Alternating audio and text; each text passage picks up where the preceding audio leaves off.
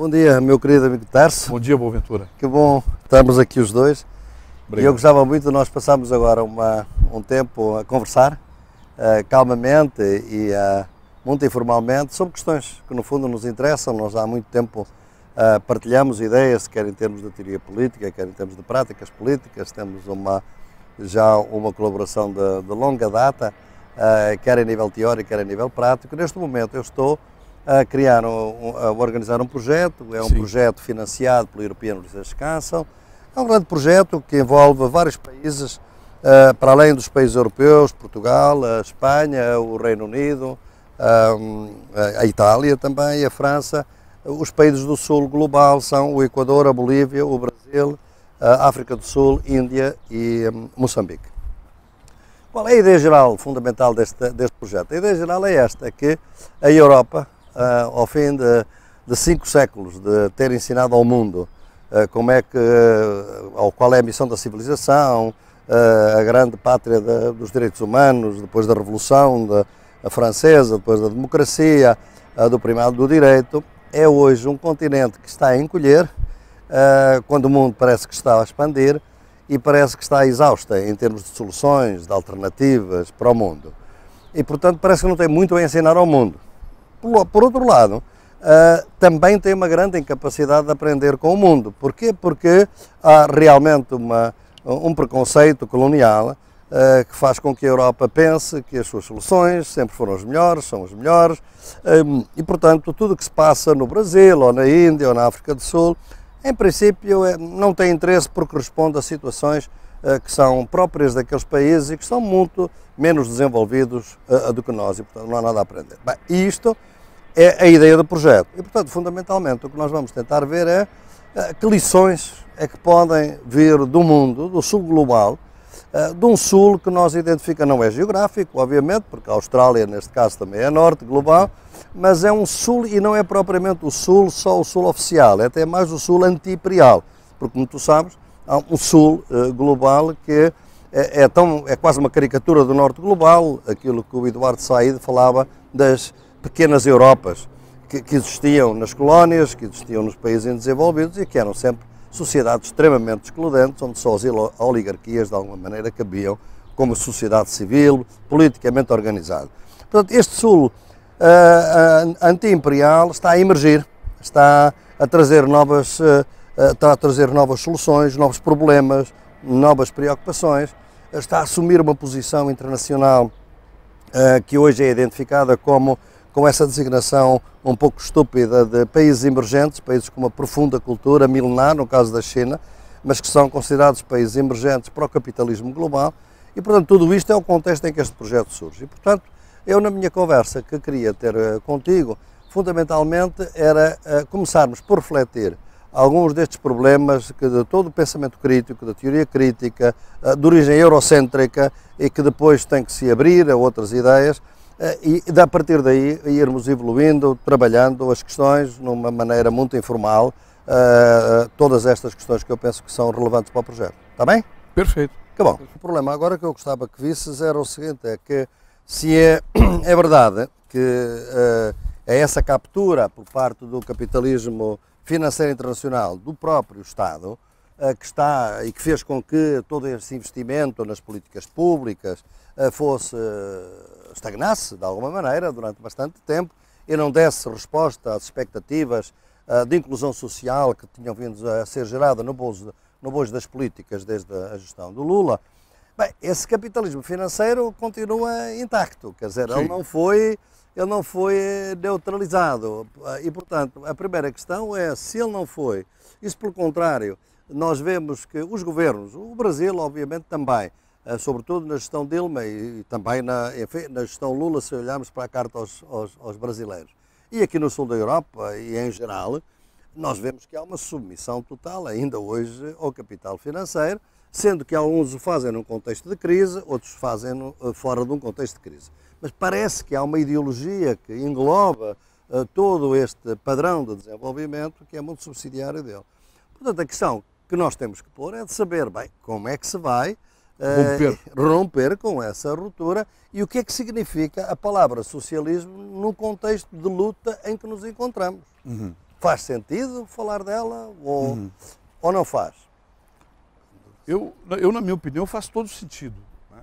É, eu acho que os governos, em geral, né, eles se repartem entre aqueles governos que tiveram uma, sub, uma submissão total né, ao grande capital financeiro e, ao, e internalização dessa dominação através do controle da dívida pública, né, e aqueles que tiveram a submissão parcial e que tentaram desenvolver políticas públicas e ações políticas contra-hegemônicas. Né. Isso na América Latina ocorreu em alguns governos, alguns com mais intensidade, outros com menos intensidade, dependendo das condições né, concretas de cada país e da direção política de cada país. Né. Qual é a grande, assim, a grande revolução que o Lula fez, na minha opinião? Os governos Lula fizeram. Não foi romper o capital financeiro, não rompeu. Né? E uh, o Brasil, na minha opinião, não tinha, inclusive, condições de romper. Não tinha como romper, não tinha respaldo internacional para romper, não tinha alternativas para romper. Então, qual foi a grande revolução Lulo desenvolvimentista, como eu digo, que agora chegou ao seu limite? E chegou ao seu limite porque se realizou, né? não é porque perdeu. É a metáfora da mesa da democracia. Né? Eu digo que o que o Lula fez foi o seguinte: considerando que a democracia é uma grande mesa, né, que tem ali em cima da mesa uma série de ofertas de bens, de alimentos, de políticas públicas, né, antes do governo Lula, as pessoas que sentavam ao redor dessa mesa tinham cadeiras e bancos em alturas diferentes. Os trabalhadores, a classe média empobrecida, os camponeses, estavam sentados em cadeiras que eles não enxergavam que estavam em cima da mesa. Só a burguesia, a classe média, a classe média alta enxergavam e disputavam aquilo, né? aquelas ofertas em cima da mesa. O que, que o Lula fez que foi altamente positivo através de uma democracia não de alta intensidade, mas de média intensidade? Ele colocou todos com cadeiras e bancos da mesma altura. E todos enxergam o que está em cima da mesa. E disse o seguinte, disse o seguinte, disputem isso que está em cima da mesa. E ativou uma série de mecanismos né, de participação democrática, de mobilização social, de políticas públicas de inclusão social, educacional, de inclusão produtiva, que é, reformataram o processo democrático brasileiro. Né? Eu duvido, eu duvido, sinceramente, que qualquer governo tucano, né, liberal financeirista, para usar uma, uma, expressão bem uhum. objetiva, né, talvez não muito acadêmica, mas bem objetiva, consiga governar o país depois disso. Não vai conseguir, né, porque agora todos enxergam o que está em cima da mesa. E ninguém renuncia ao que está em cima da mesa mais. Mas é, e... obviamente isso mostra que na agenda e a força de toda esta transformação é a força democrática. Força dizer, democrática. na agenda foi um força reforço da democracia. Foi. Não foi propriamente o socialismo. Não, não e foi. gostava até mesmo que tu visses isto em termos de social-democracia, porque a social-democracia europeia tinha um recorte de direitos universais. Aqui eh, nós começámos com políticas, o Brasil começou com políticas compensatórias algumas das quais tinham sido teorizadas uh, pelo Banco Mundial, a Bolsa Família, etc. Depois avançou com muito mais coragem para as políticas que são contra a discriminação, as cotas, o ProUni, do qual vamos falar mais adiante. Mas, portanto, nada disto põe na agenda uh, qualquer coisa que seja anticapitalista. Isto é, uh, no fundo, reforçar uh, o momento democrático do Brasil. Sim. Este momento democrático deve ter algum limite, porque uma vez que não rompe com o capital financeiro, em algum lugar vai haver um limite. Qual será esse limite, se é que o tem? Eu acho que a agenda da esquerda uh, para, para reduzir né, ou para desconstituir o poder do capital financeiro sobre o Estado tem que ser mundial. Hum. Né? Eu duvido que algum país consiga fazer essa ruptura de maneira isolada, né? e a partir desse isolamento conseguir constituir internamente uma base social né, para ter governabilidade, inclusive. Por quê? Porque, na verdade, hoje, o grande capital financeiro não capturou somente os setores médios altos. Ele capturou grande parte também da força de trabalho, grande parte dos trabalhadores organizados nas fábricas. Né? Uhum. Faça cessar as fábricas de automóveis e caminhões e, e, e as grandes projetos né, de, de, de, de, construção de bens de consumo da classe média no ABC, veja para onde vai a classe operária. Vai contra o governo. Né? Então, manter né, essas fábricas funcionando é uma operação que só pode ser feita através de um certo tipo de comunicação com a economia financeira global. Então, é, mais além da questão democrática, né, a retirada do Estado, na minha opinião, do poder do capital financeiro é uma revolução democrática mundial e que exige um novo tipo de relação Estado-sociedade e novas formas de controle direto da cidadania sobre o Estado. Né? Porque isso, inclusive, vai redundar em sacrifícios. Né? Não é possível, não é possível que, que, que, toda a sociedade tenha os padrões de consumo da classe média americana. Que toda a sociedade tenha os padrões de consumo da classe média alta. Uhum. Né? Então é, é necessário também que haja uma grande transformação na cultura política de massas para um novo modo de vida. Dos trabalhadores. Um novo, um novo modo de vida. Um, um modo de vida, não, sem dúvida. Esse, mas, essa revolução como é que modo faz de vida. essa transição? Se, se, realmente a gente viu que no Brasil eh, continuamos a ver concessões de crédito absolutamente uh, facilitadoras do, do, transporte privado, do transporte em carro, não é um investimento para os comboios ou trens, ferroviário, como, como podemos dizer, nem para o transporte público, como há pouco dizias. Portanto, este modelo, de alguma maneira, eh, capturado como está pelo capital financeiro, obedece, no fundo, às prioridades do consumo e da produção que ele criou no sistema. Não é? Uh, e, portanto, uh, fazer uma revolução a nível mundial precisa de agentes, atores. Quem serão esses atores? Não podem ser os trabalhadores, porque já estão cooptados. Aliás, a gente hoje vê que para certas lutas em que as mudanças de consumo sejam necessárias, os, os, os, trabalhadores, por vezes, são quem mais atrapalha, digamos assim, porque têm interesses investidos, perfeitamente compreensivelmente, são as suas fábricas, é, o seu, é a sua família, é o seu bem-estar, é o seu emprego, não é? Portanto, eu não estou a ver... Qual é o elo mais... Exatamente. Vamos dizer assim, mais próximo para essa ruptura. Exatamente. E se ela pode estar, por exemplo, isso é uma questão que nós vamos também tratar, mas que eu meto já agora, porque penso que pode ter eh, interesse, é qual é o papel destes países ditos emergentes, em que o Brasil aparece exatamente com grande destaque e tem tomado posições eh, que, que são importantes na cena internacional. Eu não posso deixar de, de lembrar-me eh, do, do momento muito crucial e muito difícil e trágico para o Evo Morales, quando a tentativa de golpe em 30 de setembro de 2009, penso eu, em que o Brasil, e, sei que, que tu como ministro do governo Lula estiveste muito envolvido nisso, no sentido de, uh, enfim, defender o processo democrático na Bolívia. Tudo bem, e acho que tem sido, uh, uma, nesse aspecto, uma influência benéfica. No entanto, o Brasil, internacionalmente hoje, e agora com o novo presidente ou secretário-geral, diretor-geral da Organização Mundial do Comércio, que também é brasileiro, uh, a nível internacional, o Brasil está-se a comportar mais ou menos como todas as outras grandes potências. O que ela quer é ser igual aos americanos e toma por vezes atitudes que são uh, que são arrasadoras, digamos assim, de identidades culturais, de tradições. Nós aqui em Portugal, por exemplo, ficámos extremamente, eu fiquei extremamente ofendido, obviamente, com aquela decisão da Presidente Dilma eh, de não querer que o programa Ciência Sem Fronteiras se aplicasse a Portugal, porque queria que os, os estudantes brasileiros fossem aprender o inglês noutra língua. Claro, não vieram para Portugal, vieram para a Itália os estudantes que tinham vindo aqui. Isto é de uma arrogância grande. E eu, que trabalho também em Moçambique, Uh, vejo que neste momento os brasileiros estão identificados como mais uns agentes do capital predador. Porque a Val do Rio Doce está a fazer em Tete, uh, com deslocações de populações, com, com destruição do bem-estar das famílias camponesas, muito semelhante àquele que se faz na Amazónia e, e também, uh, obviamente, as mesmas empresas brasileiras, no caso da Bolívia, a OAS, no, na, na, na, na, autopista de, de Tipnis, etc. Portanto, e vemos o Presidente Lula ir internacionalmente fazer discursos a favor das grandes empreiteiras. Portanto, o Brasil é uma força benévola, é um gigante emergente benévolo, vai fazer alguma diferença, pode fazer, obriga a uma grande ginástica, uma grande luta interior para que isso seja possível. É uma questão que todos nós hoje no mundo nos pomos. É, Como é que vês isso? Eu creio que é menos uma, uma decisão política né, do, dos governos brasileiros e mais um desenvolvimento espontâneo do desenvolvimento capitalista em escala global, né, que é, é, naturalmente predatório, né, que é originariamente predatório. Não tem outra forma do capitalismo se desenvolver.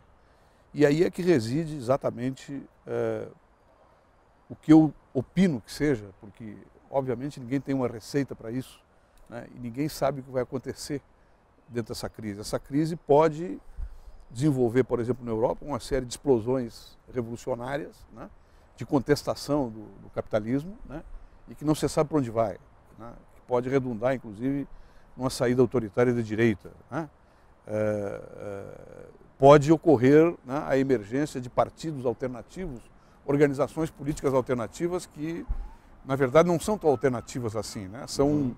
movimentos né, anarco-direitistas que é, não têm um sentido libertário estratégico, vamos dizer. Né? E esses fenômenos você percebe na Itália, você percebe em alguns países. Então, o que, que eu acho que seria hoje as duas uh, tarefas aparentemente simples, mas são tarefas muito difíceis para serem conseguidas dentro da democracia, mas que nós devemos apostar nela. Primeiro, né, uma reorganização completa do sistema de apoio né, que a União Europeia dá aos países chamados em crise, né, uhum. Estão pagando a crise, que vai num sentido completamente diferente do que está tá, tá indo hoje. Né? Ao invés de financiar os bancos e aumentar o poder dos bancos para fazer especulação na América Latina, como estão fazendo hoje, né? porque eles não emprestam para quem precisa aqui na Europa, porque não tem garantias. Né? Financiar os estados, financiar os governos, financiar políticas públicas dos governos e das empresas, principalmente médias e pequenas empresas que compõem um tecido riquíssimo produtivo uhum. aqui para o consumo popular na Europa. Então, deixar de financiar os bancos, que quebrem os bancos, que se faça um grande banco estatal europeu e que se financie os governos, as políticas públicas dos governos e as médias e pequenas empresas, né, para regenerar o tecido produtivo europeu de baixo para cima. Isso seria uma grande tarefa. É difícil? É muito difícil conseguir isso. Né? Eu acho que até alguns partidos europeus têm pensado nisso, mas não têm tido potência política para desenvolver uhum. essas políticas, porque existe uma grande classe média acomodada que quer, na verdade, manter né, esta forma de organização da União Europeia que favorece a alta classe média né, e os setores burgueses de cada país, né, de cada país integrado nesse processo. E a segunda questão é a questão relacionada com o Estado em geral hoje. Ou seja, é impossível hoje que dê toda, vamos dizer assim, que dê por terminado o projeto democrático moderno com a organização do Estado Democrático de Direito originário do século passado. É necessário, na minha opinião, criar um novo Estado de Direito. Um Estado de Direito que tenha balizas previsíveis, firmes, firmes em, cima, em cima de princípios democráticos que estão muito bem expressos, inclusive na Constituição brasileira e na Constituição portuguesa, e que se estabeleça uma outra dinâmica de produção de políticas públicas. Ou seja, que se crie uma combinação da democracia direta, do controle público do Estado através da democracia direta, com né, uma democracia uh, estável, previsível, né, onde esteja inclusive previsto o recall né, uhum, para uhum. a deposição dos governantes. Ou seja, uma nova dinâmica na relação Estado-sociedade e um férreo controle público do Estado, uhum. onde os agentes públicos, né, sejam os agentes políticos, sejam os agentes burocráticos do Estado, estejam permanentemente subordinados a esse controle. Sem que isso uhum. ocorra, o Estado de Direito vai falir porque ele vai usar mais a sua força coercitiva do que os seus princípios libertários para desenvolver o, o projeto democrático moderno. Então, o que eu agora quero debater, ainda estando num nível um pouco mais uh, geral, é que torna-se claro, e isso é muito forte no teu trabalho, é muito forte no meu trabalho, como teórico destas coisas, uh, que de alguma maneira o que nós procuramos uh, foi resgatar a democracia para um pensamento de esquerda. Aliás, Uh, também num dos teus textos, como eu também tenho vindo a dizer, a esquerda não tem tratado adequadamente o problema democrático. Dizes isso e exatamente está uma citação. Uh, e, e, eu tenho dito de uma maneira muito similar. Portanto, uh, e quando eu te ouço, é evidente que toda a esperança passou a ser na experiência democrática, na vivência democrática, de maior participação e controle cidadão sobre, sobre as decisões. Portanto, não estamos a falar tanto de socialismo, mas a falar de democracia. É evidente que, por vezes, nós, no meu caso concreto, até as pomos no mesmo patamar, como eu tenho vindo a definir o socialismo como uma democracia sem fim. Ah, ou seja, uma democracia que se vai identificando, intensificando, aprofundando e que é ao nível do Estado, é ao nível da família, é ao nível da rua, das forças de segurança pública, das fábricas, das escolas, etc. Mas esse trabalho democrático, ao mesmo tempo, nós vemos hoje, quando analisamos, eh, por exemplo, aqui na Europa, onde a democracia, depois do pós-guerra, eh, teve, devido ao trauma de duas guerras criadas pela, eh, por essa vertigem da supremacia alemã, em que de alguma maneira estamos de novo ainda num contexto de guerra, esse trauma fez com que se procurasse efetivamente criar uma compatibilidade que à partida temos que saber, e como tu dizes exatamente, eu também tenho vindo a dizer, se o capitalismo assenta na base de uma acumulação incessante, ele não compartilha o poder. Uh, e, portanto, uh, só obrigado é que o pode fazer. Ao contrário, a democracia uh, assenta numa lógica de, de direitos e, portanto, de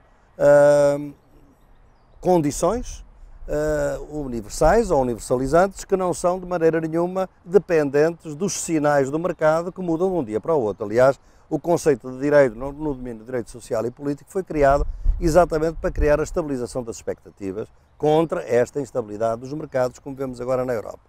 Ora bem, esta democracia compatível com, com o capitalismo, que foi isso que se fez na Europa do pós-guerra, assentava fundamentalmente na ideia de que o capitalismo, para ser compatível com a democracia, tem que ser muito regulado. E então, ah, não só houve nacionalizações fortes, um grande, ah, uma grande regulação do capital financeiro, ah, houve, obviamente, também nacionalizações, como disse, e houve, inclusivamente, toda a ideia da concertação social, da negociação coletiva, e no caso da Alemanha, pasme-se, o mais avançado, que é a participação dos trabalhadores na gestão das empresas. Se nós analisarmos um pouco desde os anos 70 para cá, nós podemos ver que uh, este momento de vitória da democracia sobre o capitalismo foi perdendo força.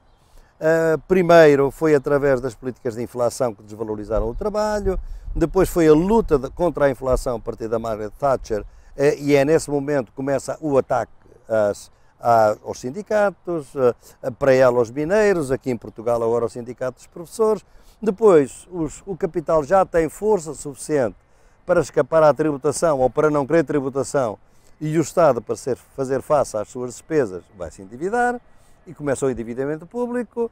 Depois, a liquidez que é criada no mercado faz com que os bancos queiram o endividamento privado e nós hoje temos as famílias mais endividadas na Europa não são aquelas que estão em crise, os dinamarqueses são as famílias mais endividadas, têm dois anos da dívida dos seus salários já avançados, digamos assim portanto foi endividamento privado. Está lá a crise e o que a gente verifica é que a dívida privada se transforma em dívida pública resgate aos bancos. Isto significa o seguinte: o capital ganhou em toda a linha.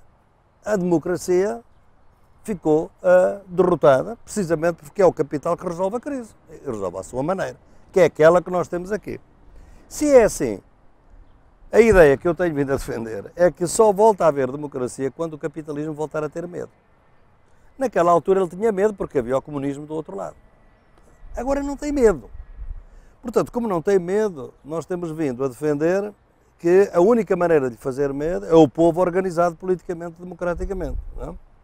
Agora, todas as experiências e as mais interessantes que se têm vindo a fazer, e vamos agora tratar a teoria democrática, elas foram e estão brilhantes ao nível local ou ao nível intermédio ao nível nacional, que é onde se fazem as grandes decisões macroeconómicas, aí o sistema estanca. Como é que tu vês que nestas novas formas da democracia, que eu também gostaria que comentasses, por que razão é que atribuis às políticas do Lula uma democracia de média intensidade e não de alta intensidade? O que é que para ti faz a diferença entre uma democracia de alta e de média, e de média intensidade? Bem, essa é a questão, essa é a questão mais grave que nós temos que enfrentar. Né?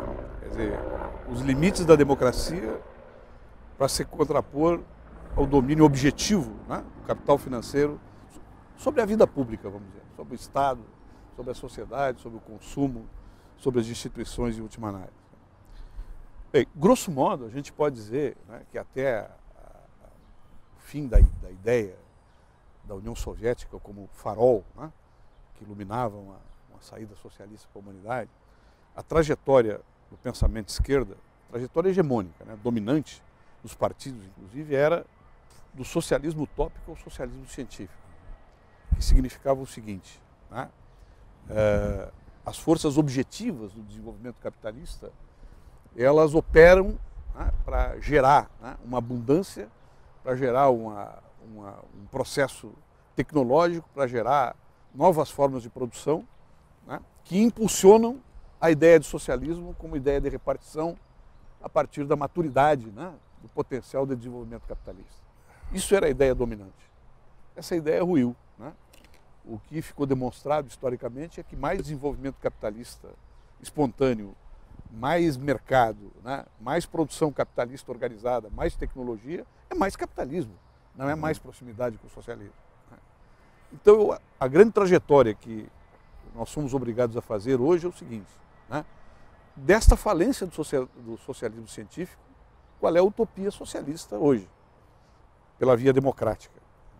Eu acho que isso não está claro, isso não tem, né, não tem, assim, nenhuma formatação já definida, né?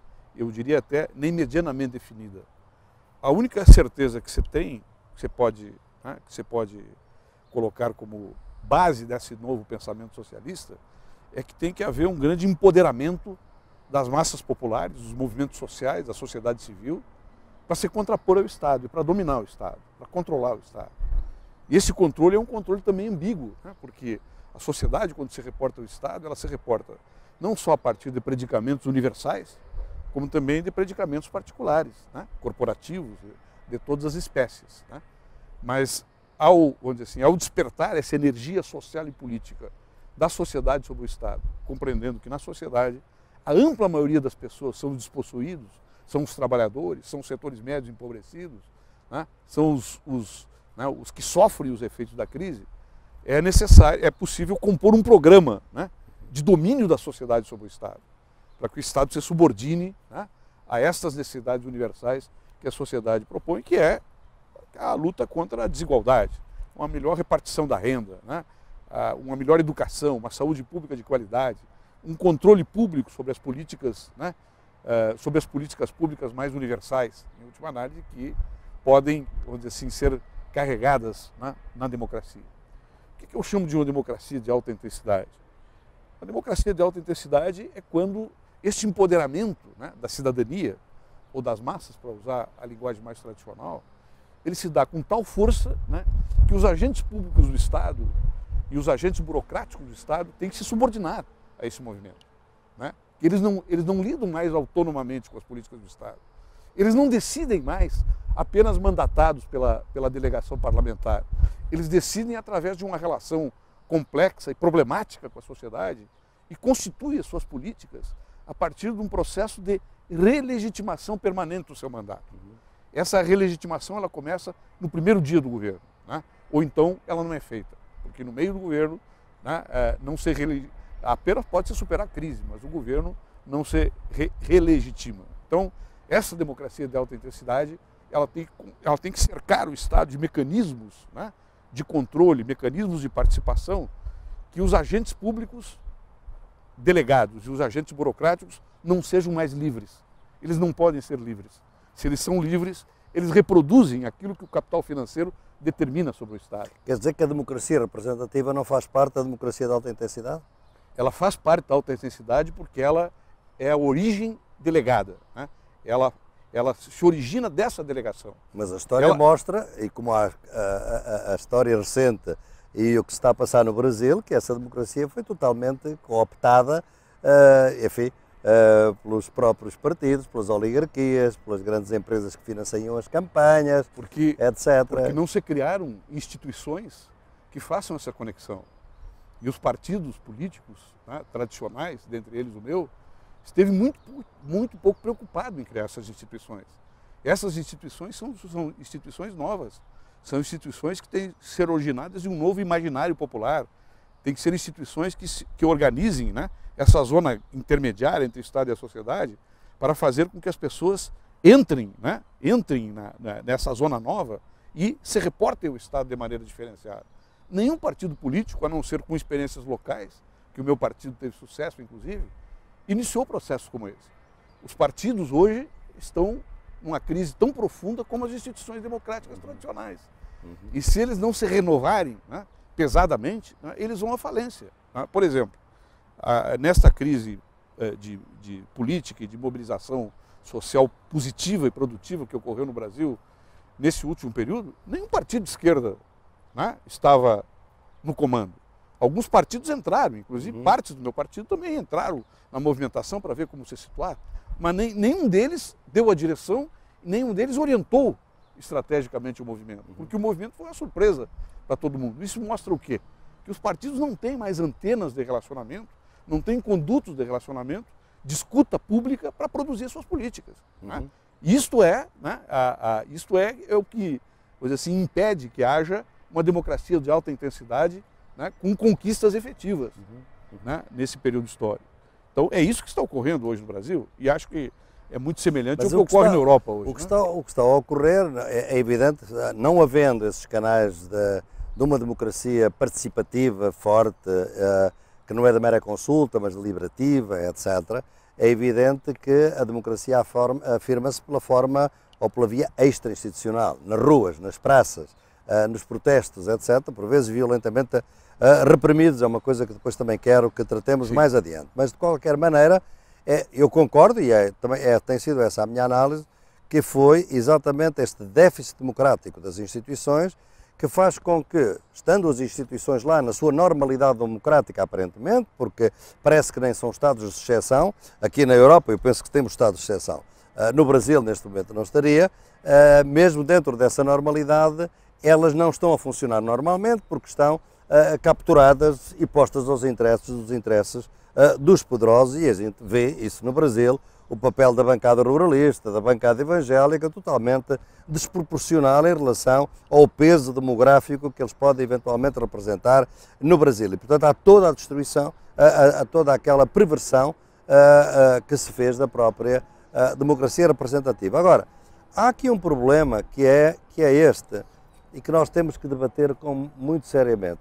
Em termos de teoria, nós caminhamos e estamos, penso que eu, de acordo uh, nestas questões. Podemos depois ter alguma a discrepância que também podemos analisar, mas não a vejo sequer neste momento, na relação entre democracia representativa e democracia participativa ou deliberativa, como se quiser chamar. Agora, uma coisa é certa, é que há aqui problemas de escala, não é? Por exemplo, quando eu fiz estudo nos anos 90 do teu trabalho no orçamento participativo, que é um trabalho notável pelo impulso que tu vieste a dar uh, em meados da década de 90 ao orçamento participativo, não há dúvida que os estudos mostraram uh, que a inversão das prioridades de investimento, que inicialmente, como tu sabes, eram muito poucas quando o PT começou a, a governar uh, a prefeitura de Porto Alegre, porque havia quase uma situação de bancarrota, digamos assim, do município, ele foi ganhando um bocadinho mais de peso e uma coisa é certa, essa inversão das prioridades fez com que Porto Alegre fosse uma cidade menos injusta no final destes mandatos. Mas o Rio Grande do Sul, no seu conjunto, continua a ser tão injusto quanto era antes. Portanto, nós criámos uma ilha de maior, uh, digamos, desigualdade ou de menor desigualdade, mas o Estado em si mesmo. E não sobreviveu. Uh, e não sobreviveram, exatamente. E por outro lado, a própria União ainda menos. Quer dizer, toda aquela ideia de que nós, eh, aliás, muitas vezes discutimos, ainda já nos anos 90, eh, como é que seria uma democracia participativa ao nível do Estado, ao nível da União, do Estado Federal. Eh, lembro-me que havia até uma proposta que nem vinha sequer do, do PT, vinha, penso eu que vinha do, do, do PMDB, do Pedro Simão, que era um deputado federal que a certa altura pôs a questão... Senador. Senador, não é?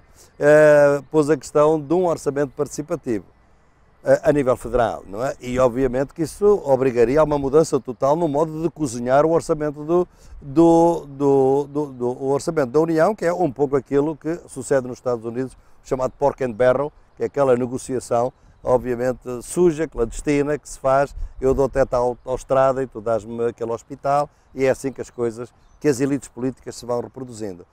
Como é que nós, onde é que está o limite? Quando a gente fala da, da relação difícil se não mesmo incompatível entre democracia e capitalismo, eu acho que a questão é da escala, isto é, nós teorizamos, hum. conseguimos aplicar ao nível local, até ao nível médio, mas depois quando chegamos ao nível da União, aí as coisas fracassam ao nível do Estado. É assim ou temos a possibilidade de furar, resolver o problema de escala, no fundo? O senador Pedro Simão apresentou um projeto de emenda constitucional naquela oportunidade, uhum. baseado no orçamento participativo de Porto Alegre. Uhum. Eu chamei ele para uma grande reunião do orçamento participativo, ele ficou positivamente impressionado e apresentou a emenda constitucional né, é, como um depoimento político, mais porque ele sabia que não ia passar, era inclusive no governo do presidente Fernando Henrique. Qual é a diferença que houve entre o governo Lula e os governos anteriores, e que eu chamo de democracia de média intensidade. Foi a sucessão de conferências dos mais diversos temas que geraram políticas públicas e que grande parte delas foram aplicadas. Né? É, é, e ah, algumas concertações que foram feitas no Conselho de Desenvolvimento Econômico Social, como na política de segurança pública, que depois regrediu, e na, e na política do ProUni, né? que é um dos exemplos de uma concertação uhum. que hoje já colocou mais de 1 milhão e 300 mil estudantes das camadas populares, né, de baixa renda, na universidade. Uhum. Então, essa democracia de média intensidade, ela foi, ela realizou um, pequeno, um cerco né, para, propositivo sobre o Estado que o presidente Lula teve condições de acolher e processar em condições adversas. Né? Porque a própria base parlamentar do governo né, é uma base muito fluida, né? uhum. é uma base muito, muito diferenciada. Envolvia até centro conservador, com interesses regionais, até partidos de esquerda, né, tradicionalmente esquerda, como o PCdoB né, e o Partido dos Trabalhadores, né, e, e, parte de outros partidos também que compartilharam.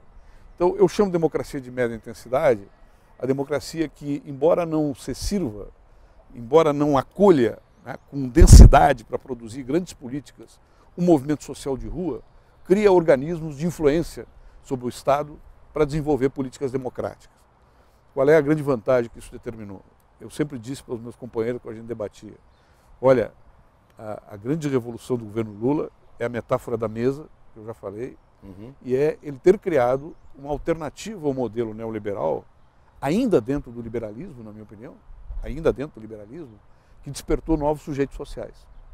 Esses novos sujeitos sociais são os que estão na rua hoje, os 90% dessas pessoas que estão na rua hoje, né, demandando novas políticas. Ou seja, ele, ele reestruturou a sociedade de classes no país e colocou novos sujeitos políticos e sociais para novas exigências. São as duas grandes transformações que o governo do presidente Lula realizou. E ela é média porque, no fundo, uh, os mecanismos que foram criados a nível da União são mecanismos de consulta, não são mecanismos de deliberação. São mecanismos de consulta e são mecanismos de interferência limitada sobre as uhum. políticas públicas, porque é, o, o, Estado, uh, em geral, ele não fez nenhuma ruptura com o capital financeiro. Uhum. Ele compartilhou né, com o capital financeiro políticas que eram políticas que é, é, eram intermediárias, né? uhum. né, políticas que permitiam né, uh, políticas públicas de inclusão social, de desenvolvimento, né, de inclusão educacional, né, de inclusão produtiva, mas que não houve, não, não, não houve uma ruptura com o cálculo econômico do capital uhum. financeiro. Uhum. Tanto é que a nossa dívida continuou sendo paga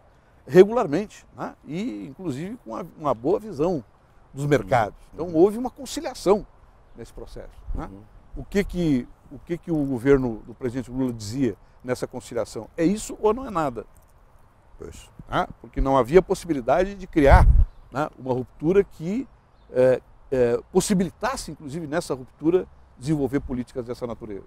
Uhum. E esse programa, na minha opinião, é que chegou no seu limite. Né? Ele chegou no seu limite não é porque não deu certo, ele realizou todas as tarefas que tinha que realizar. Daqui para diante, né, no, no, na, no, segundo momento do governo da presidenta Dilma e no próximo governo, se for um governo né, de centro-esquerda, um governo progressista, ele vai enfrentar novos problemas, e mais graves, e mais profundos. Né?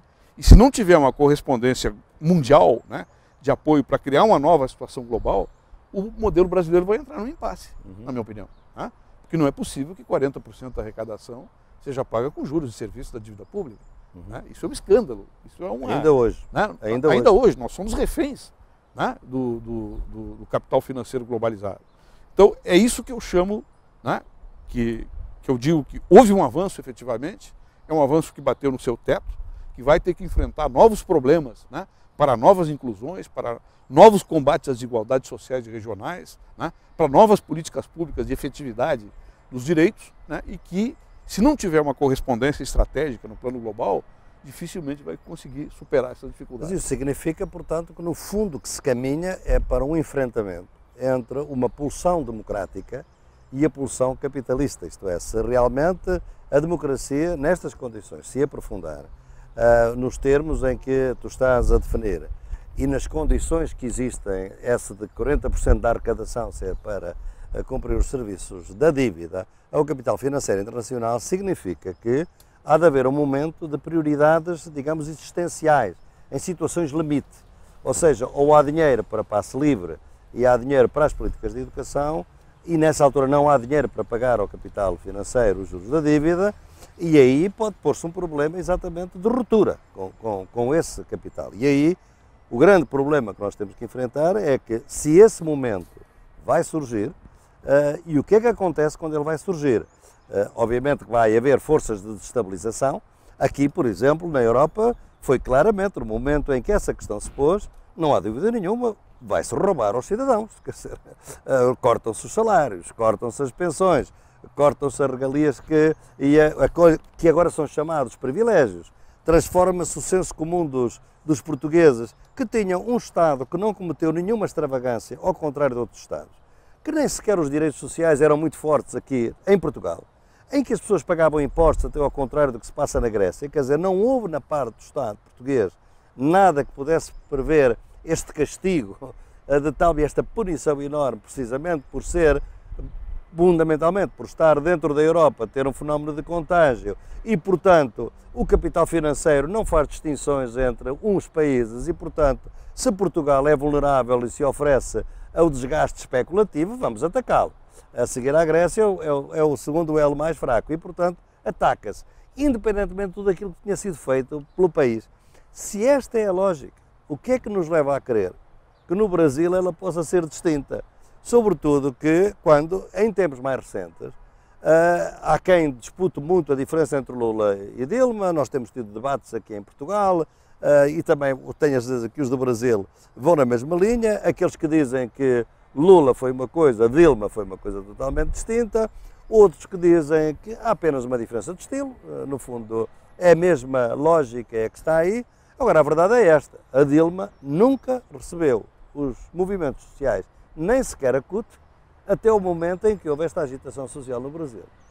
Ao contrário, obviamente, que recebeu todos os grandes agentes do agronegócio, do capital financeiro e realmente enfrentou-nos a todos nós, que falávamos mais, como aconteceu comigo no Fórum Social Temático em Porto Alegre em 2010, dizendo não, eles são, são pobres, os indígenas são obstáculos ao desenvolvimento e o que nós temos é que realizar as nossas políticas, porque elas é que garantem a acumulação do país. Portanto, o neodesenvolvimentismo ferranho e, obviamente, com as costas quentes do capital extrativista e do capital financeiro, que hoje especula, como tu sabes, com as commodities e, portanto, com a agricultura, com os, com os recursos naturais. Nestas condições, um político que está no Estado, uh, e agora vamos fazer como, uh, não falando já do Rio Grande do Sul, porque a isso voltaremos, mas um, um político que está no Estado perante uma situação dessas, Uh, o que é que ele ou ela vai fazer? Isto é, arrisca uma crise de insolvência, por exemplo, ou procura legitimar as exigências do capital financeiro, que são extremamente fortes, uh, e portanto começa uh, a regredir, a regredir, ou usa este ímpeto democrático para um levantamento de desobediência internacional que pode, num certo contexto, levar a um levantamento mundial, e quer dizer que, porque no fundo, uh, uh, cada vez mais as diferenças que havia entre as diferentes uh, esquerdas, que é uma coisa que eu também refiro neste contexto, as diferentes esquerdas dividiam-se mundialmente por várias razões, uma das quais é pelas diferenças dos capitalismos nacionais. Ora, se hoje o capitalismo global começa a submeter todos os países à mesma lógica, ainda que com intensidades diferentes, haverá mais reuniões, mais, mais condições para reunir essa esquerda. Portanto, primeiro, o que é que vão fazer os políticos quando esse ímpeto democrático em que pões tantas complacências chegarem ao limite do enfrentamento com o capital financeiro, que não tenhamos dúvidas, não é democrático, não quer democracia, serve-se dela enquanto ela lhe é útil. Bem, os políticos tradicionais vão continuar fazendo a mesma coisa vão continuar tratando a sua sobrevivência. Por exemplo, agora no Brasil, a maioria do Congresso Nacional está tratando da sua sobrevivência, não está tratando da crise. Porque se estivesse tratando da crise, teria trazido para dentro do debate nacional do Congresso profundas reformas né, sociais e políticas, mas principalmente reformas políticas, para dar vazão a essa democracia da alta intensidade que começou né, a apresentar sua cara. Então, a maioria conservadora vai manter né, a, a, as relações políticas tradicionais para as próximas eleições procurarem se reeleger. Né? Embora tenha uma parte do Congresso que não tenha essa visão. É necessário deixar bem claro. Mas a maioria, a hegemonia no Congresso, é essa que eu estou falando. Nós vamos pegar rapidamente, uh, por partes, algumas questões que colocaste. Primeiro, né, eu acho que o, esse momento de enfrentamento ele está se aproximando né, entre a, vamos dizer assim, a vazão dos anseios democráticos e libertários da sociedade contra né, o capital financeiro e o poder do capital financeiro sobre o Estado. Né. Isso é a mais aguda luta de classes que adquire diversas formas, diversas palavras de ordem e que vai levar a uma situação limite. Se essa situação limite em termos locais ou globais vai ser daqui a um ano, daqui a dois ou daqui a seis, depende de uma série de fatores. Mas eu não tenho a menor dúvida de que a democracia, né, a evolução democrática, a evolução do sentido libertário e social da democracia, ou seja, a compatibilização da democracia com políticas sociais, com políticas socialistas, com políticas distributivas, né, ela vai chegar no seu limite. E o limite é a dívida. O limite são os 40% dos juros. Né? 40% da, dos, dos, recursos da União para pagar juros. Como exemplo do país, né? como exemplo do meu país. Então, isso vai ocorrer. Né? E este momento é o momento em que a transformação né, da sociedade através de reformas vai adquirir o seu momento revolucionário, que pode ser tanto por uma constituinte nova, uma nova constituinte, né, para reorganizar os fatores reais de poder e reorganizar o ambiente político, reorganizar né, as estruturas do Estado, ou pode haver uma ruptura imprevista, né, que vá para um lado que não se sabe qual é, né, e não se sabe que sujeitos políticos estarão à frente desse processo. No meu país, não sei aqui na Europa, nos distintos países que isso está ocorrendo, pode haver uma restauração neoliberal, inclusive, na minha opinião. Né? E o neoliberalismo no, no, Brasil, ele tem base social, ele tem base política e social para isso. E terá apoio do capital financeiro até para fazer concessões, num primeiro momento, para haver essa restauração. Né? Pode, nas próximas, não digo nas próximas eleições ou na outra, não sei, mas pode haver um, um momento em que o, o, o, projeto, o bloco neoliberal, né, centro-direitista, ele se reglutine e diga, não, nós é que vamos dar uma solução para essa crise. A classe média alta brasileira torce muito para isso. E a classe média alta brasileira tem muito poder na mídia, tem muito poder nos partidos, tem muito poder nas instituições, tem muito poder no judiciário, tem muito poder ah, no, no, no, Congresso Nacional, tem, tem muito poder na burocracia estatal, inclusive. Então isso aí pode ocorrer. Acho que essa situação não está resolvida. Num plano local e num plano regional, né, o que se pode fazer é desenvolver políticas contra-hegemônicas. Essas políticas contra-hegemônicas têm o seu limite. Como que nós estamos tratando isso? A partir de uma experiência regional. Nós dissemos o seguinte, nós não vamos pagar, ah, nós não vamos nos preocupar com déficit zero, que era a preocupação do governo neoliberal anterior. Uhum. Nós vamos reorganizar o nosso espaço fiscal e vamos obter mais recursos do Orçamento Geral da União, do BNDES, do Banco Mundial, do BID e vamos desenvolver investimentos para promover o desenvolvimento do Estado. Ou seja, nós, vamos, nós não estamos saindo da crise, nós estamos acelerando o desenvolvimento para criar condições de enfrentamento com a crise. É o que se pode fazer para continuar, inclusive, pagando o salário dos servidores, melhorando substancialmente o salário dos servidores, organizando políticas sociais de inclusão social e educacional, que são muito limitadas, mas que têm, nesta parte, um apoio expressivo do governo federal. O recurso vem do endividamento? O, o recurso, recurso vem, vem, do endividamento. Para investimento, sim. Para a operação da máquina pública, vem dos próprios recursos, né, dos impostos do, do, do Estado do Rio Grande do Sul. E desenvolver políticas de atração de investimentos, de fora, de dentro do país, e expansão da nossa base industrial média e pequena do Rio Grande do Sul, que é muito rica. Né? O Rio Grande do Sul vai crescer eh, o dobro do que o país vai crescer eh, neste ano. Né? Por uma série de fatores locais. Que até agora, fatores... por contrário, economicamente, o Rio Grande do Sul parecia relativamente estagnado. Não é? Em relação a outras regiões do país, uh, assumiu menos. É, o, até porque o Mercosul também nunca é se desenvolveu. É o, o Rio Grande do Sul teve, teve uma. No ano passado, teve uma safra, uma perda de 40% na safra, que foi, prejudicou muito o agronegócio, prejudicou a média e pequena propriedade, prejudicou a agricultura familiar. Foi uma seca brutal, onde nós, inclusive, tivemos que repassar dinheiro do Estado para as famílias de agricultores familiares se alimentarem. Né? Uhum. A primeira vez que aconteceu isso aí no Estado, com, com larga expressão. Né? Nós desenvolvemos políticas de proteção social dentro desse processo. Agora, o poder de reação de uma cidade, de um Estado, é limitado. Ele tem um limite. Qual é o limite?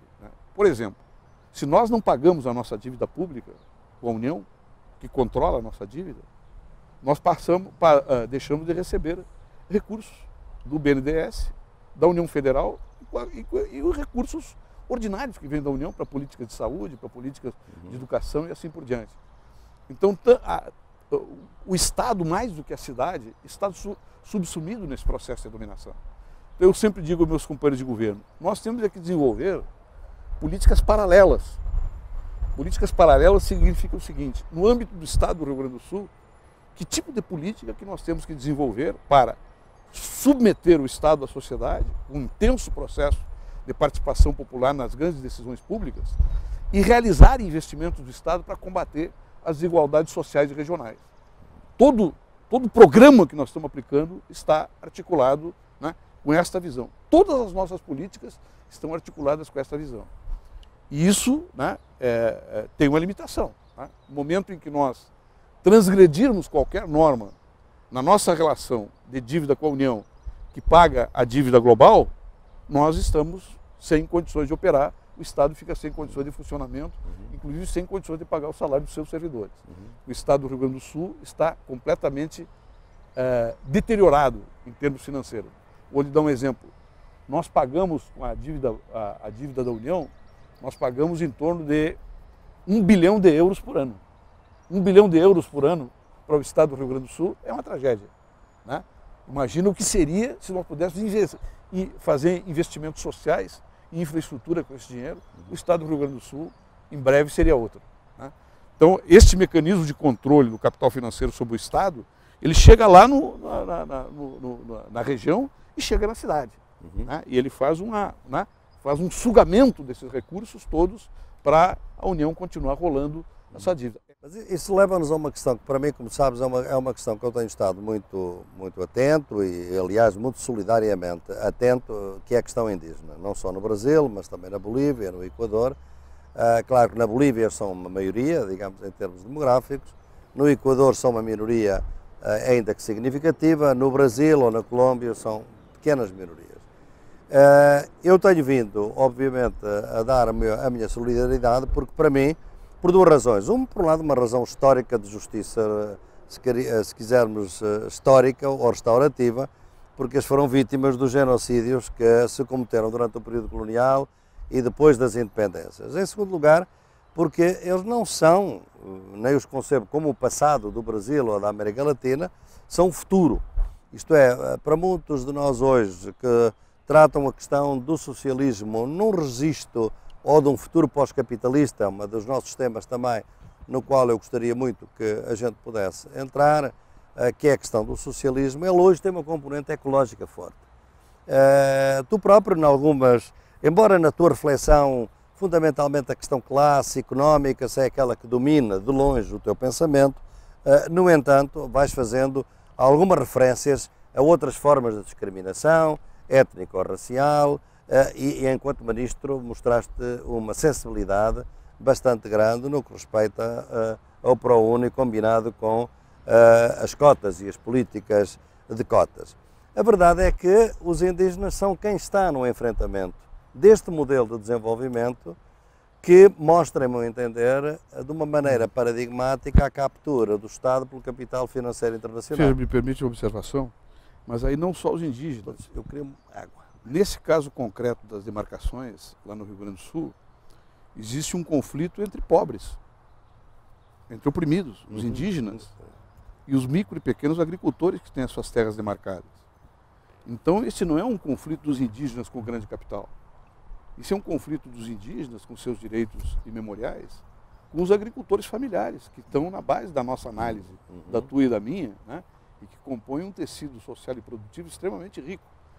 Então, o que, que o governo fez nesse processo? O governo fez o seguinte: como iria descambar para a violência essa demarcação, nós nos propusemos perante o governo federal fazermos um trabalho de concertação, inclusive incluindo a Federação dos, dos Agricultores, que vieram para cima do governo.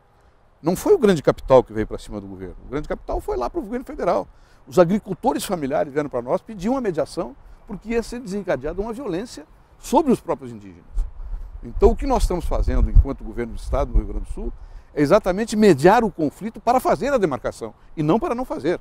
Uhum. Ah, essa é a questão, a questão concreta que Essa coloca. questão é relevante, obviamente, mas eh, temos que ver que a questão dos pequenos agricultores põe-se no Rio Grande do Sul ou no Paraná de uma maneira que não se põe de maneira nenhuma na Amazónia. Na Amazónia põe-se de outra forma, não é? Sim. Não temos aí o conflito tanto, com pequenos tanto... agricultores, temos a grilagem de Sim, terra, na, temos na, os mega A Amazônia é completamente diferente. É né? completamente diferente. Tanto é que eu fui lá na, na Raposa Serra do Sol, eu fui pessoalmente lá, eu determinei a prisão dos invasores e eu determinei a demarcação. Foi um trabalho notável. E eu defendi né, perante o Supremo, nós íamos perder né, e ganhamos né, a demarcação contínua exatamente em função dessas ações. Exatamente. Então, é, não, não, é, não é possível pegar toda essa análise abstrata, né, que tem grande relevância humanística e é fundamental, e transferir isso mecanicamente para o Rio Grande do Sul. Não, se, fa, não se faz Porque a transferência. Aí, aí, aí fica uma análise, eu diria, uma análise uh, uh, que não se refere à situação concreta. Mas vamos, vamos então distinguir, porque eu acho que é muito importante que distingamos essas, essas diferenças. Eu, no meu,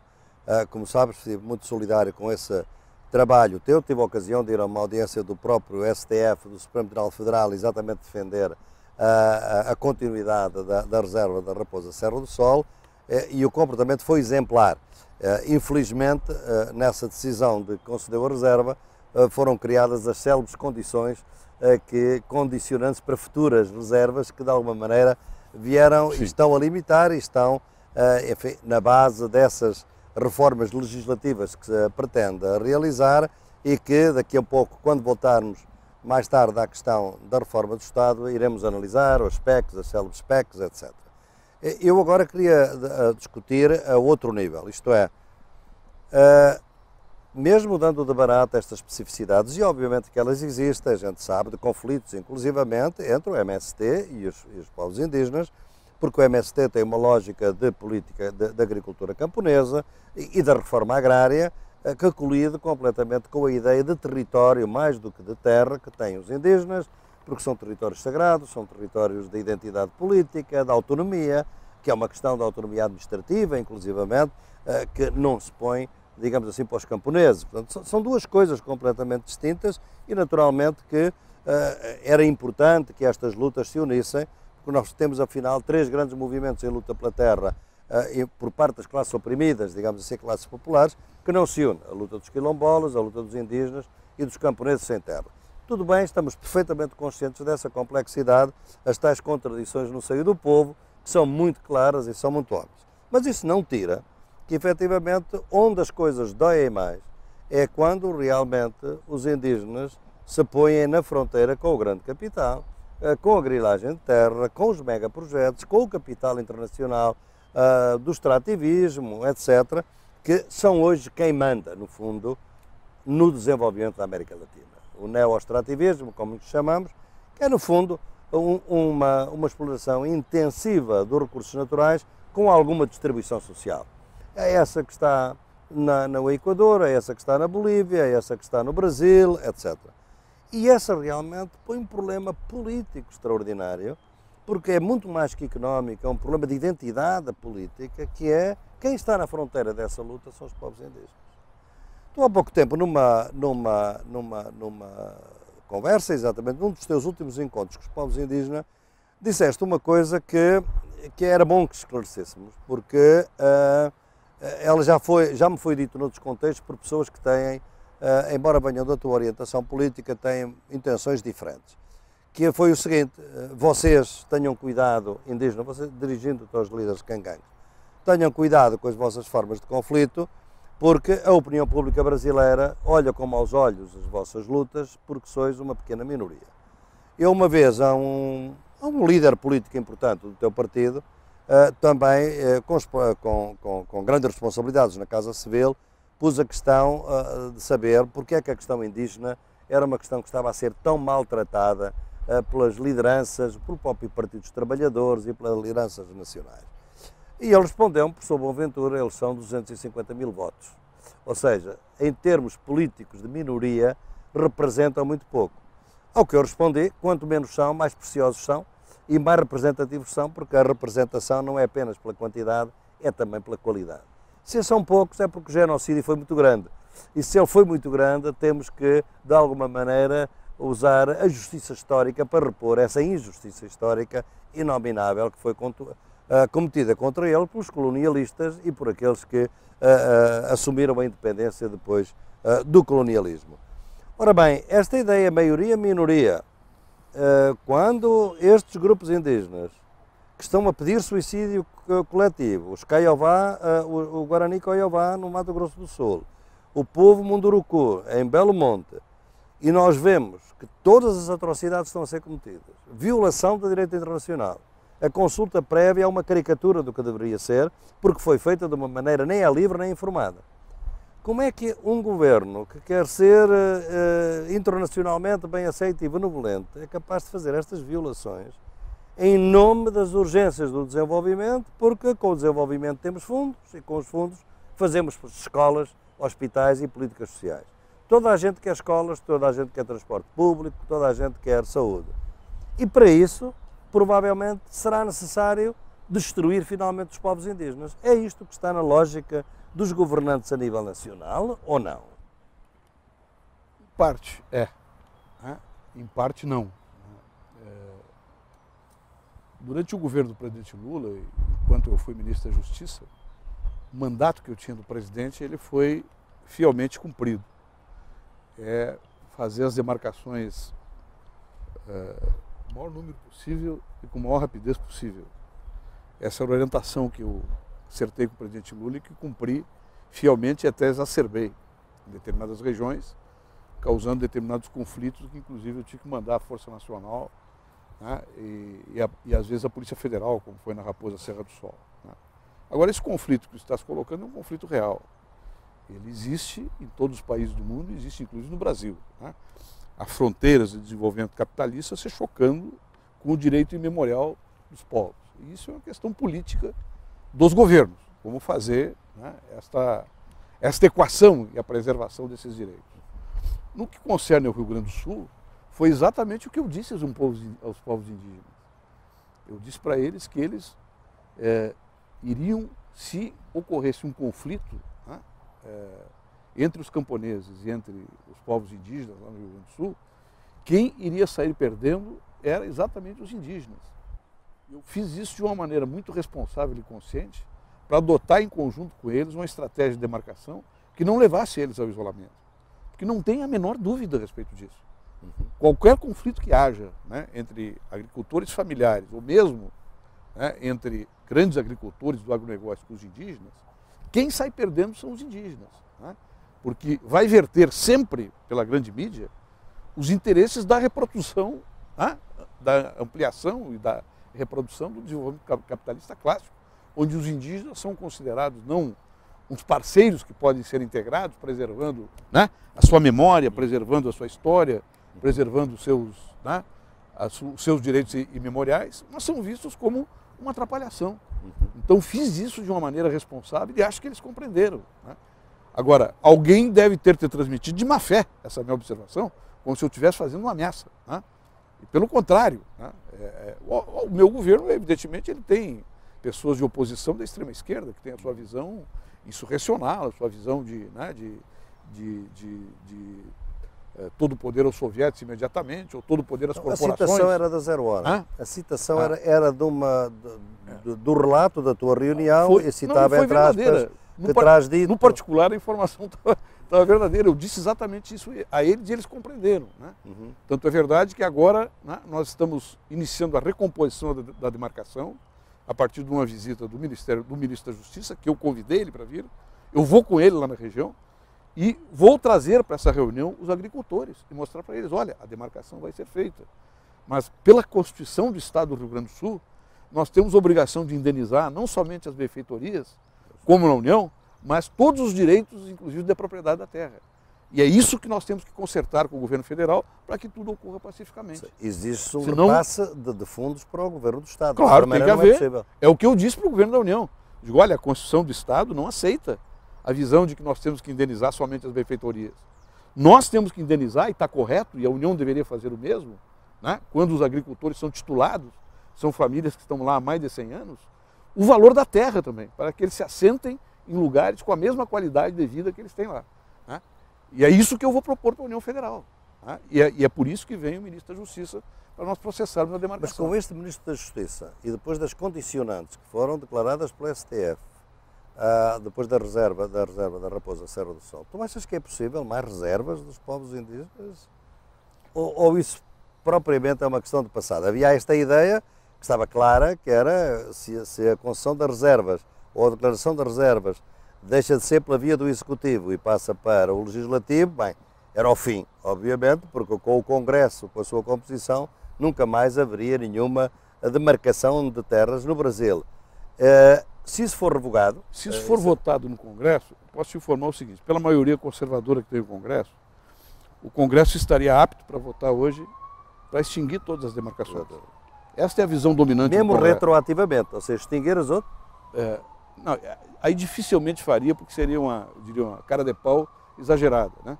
Mas a maioria do Congresso hoje congelaria todas as demarcações se fosse um projeto de lei, né? ou inclusive uma reforma constitucional para determinar o congelamento. Né? Esta é a situação hoje né? da esfera da política hoje no Brasil e da esfera da representação. Se é possível ou não fazer mais demarcações, isso aí vai depender da luta social, de como os agentes políticos né, eh, vão se comprometer com isso. Né? Por exemplo, eu tive, como ministro da Justiça, as pressões não vinham somente dos partidos tradicionais, dos partidos né, é. É, é, dos grandes fazendeiros ou dos grandes proprietários. As pressões contra a demarcação vinham, inclusive, de parte do meu partido e dos partidos de esquerda, vinculado a esta questão imediata da sua representação regional. Né? Claro. Isto, é, isto é uma limitação da representação. Então, se nós não criarmos formas de participação direta que tenham capacidade de interferência, inclusive, na conduta dos agentes políticos, esse processo vai continuar de maneira cada vez mais perversa. Como é que é? Quer dizer, qual é a concepção da natureza, da, que está por detrás de uma política desenvolvimentista deste tipo, que inclusivamente é capaz, num governo de centro-esquerda, como tu caracterizas, ter feito um código florestal uh, do tipo daquele que está neste momento em vigor, que toda a gente reconhece, internacionalmente é reconhecido como um retrocesso, em relação inclusivamente àquilo que existia antes, ou seja, que aliás terá sido redatado por um, um, um comunista, digamos assim, mas que uh, mostra bem as contradições da, da, política hoje em dia. Por é que é tão, uh, tão difícil, também na América Latina uh, e no Brasil, muito especificamente, termos outro conceito de natureza?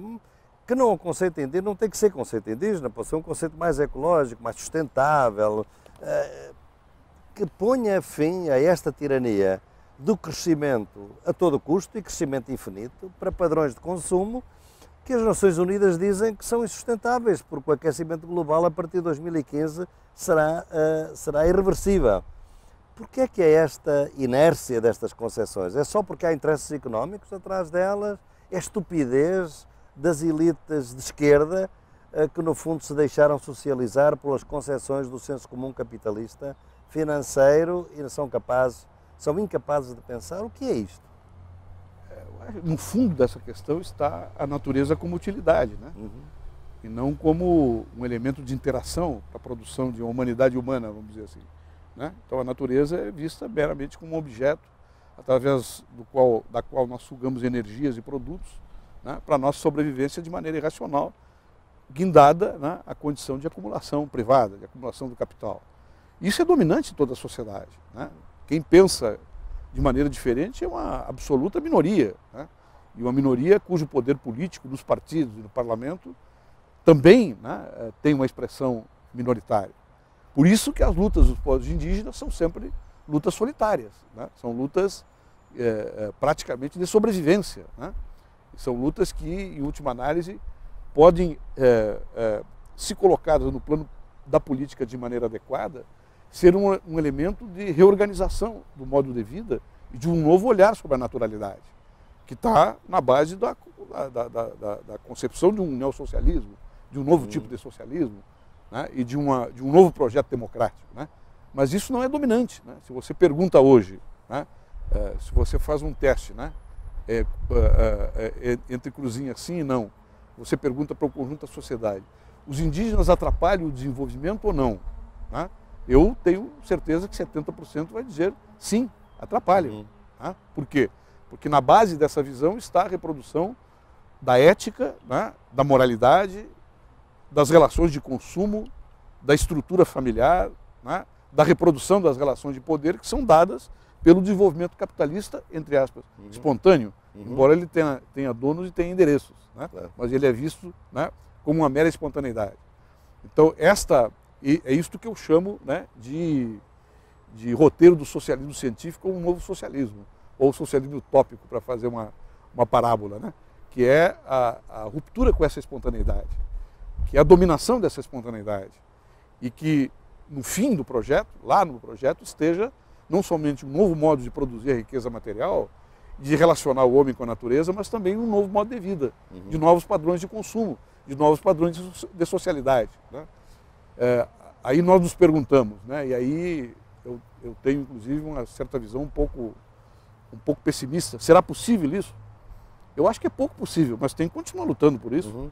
porque é isso que dá razão, isso que dá sentido a ser é. de esquerda.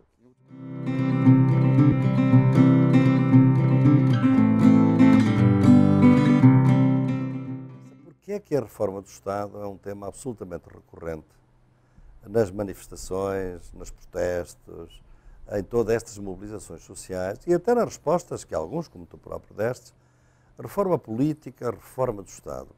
Porquê? Bem, é, eu acho né, que a reforma do Estado ela é colocada é, com dois ângulos bem diferenciados, bem diferentes.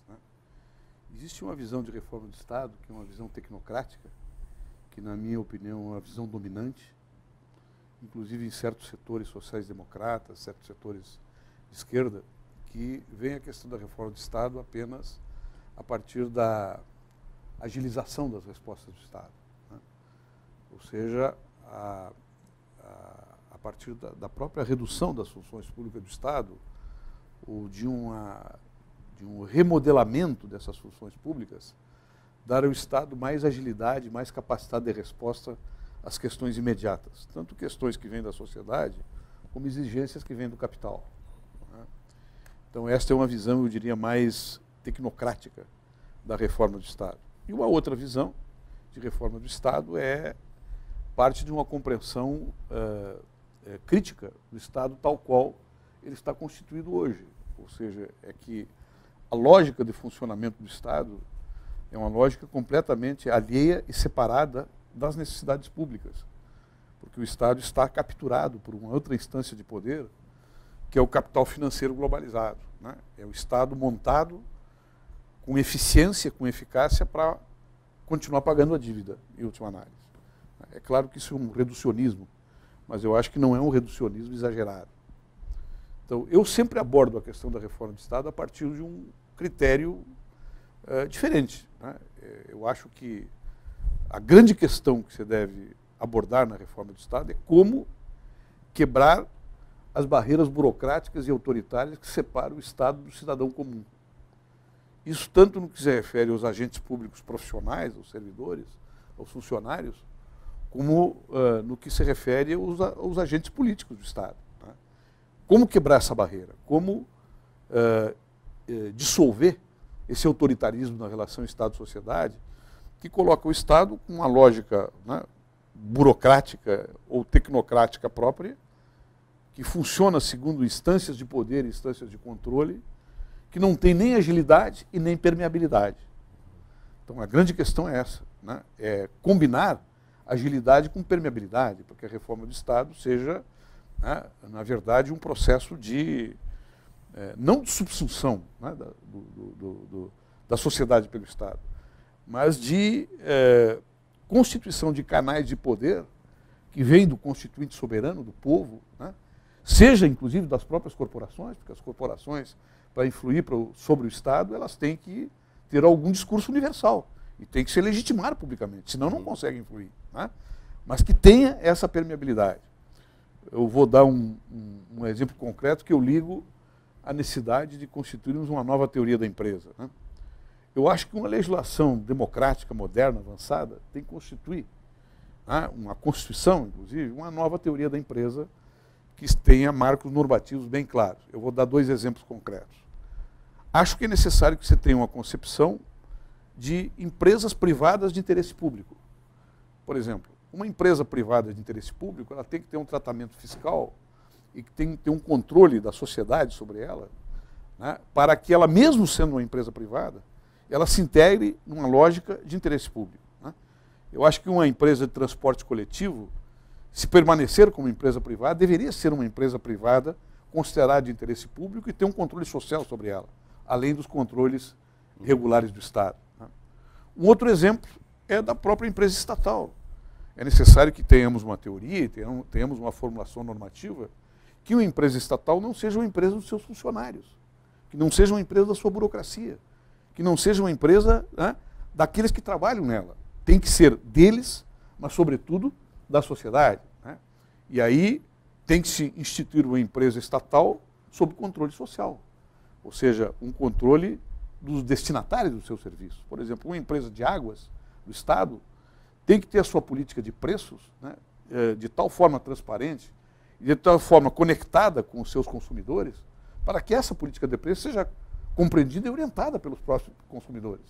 E isso pode fazer através né, de normas claras de regulação dessas empresas que os consumidores tenham controle sobre ela. Uhum. Nós estamos fazendo agora uma experiência aqui no Rio Grande do Sul que é extremamente importante. Né? Uma das demandas desse grande movimento social que está aí é a redução do preço dos pedágios. Né?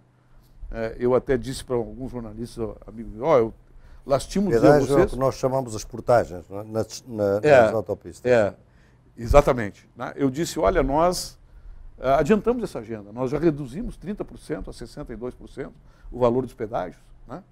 retomamos o controle de, desses pedágios que eram controlados por empresas privadas e instituímos, através da Assembleia Legislativa, uma empresa pública sob controle da sociedade, uma empresa estatal uhum. sob controle da sociedade. Os conselhos, conselhos comunitários nesses polos de pedágio vão fazer o controle e o planejamento uhum. estratégico dessa empresa pública. Ela vai obter a sua legitimidade dos próprios usuários. Então, é uma experiência nova que aponta para essa relação. Então, para mim, reforma do Estado é uma reforma de democratização radical do Estado, a qual tanto a burocracia do Estado como os agentes públicos devem estar submetidos né, a partir dessa nova relação com a população, com o povo, com a cidadania. Essa é a razão pela qual esta questão é, é importante para nós, é porque eh, ela eh, representa, digamos assim, eh, um problematizar de posições que tiveram uma grande corrência e predominância nas teorias da esquerda,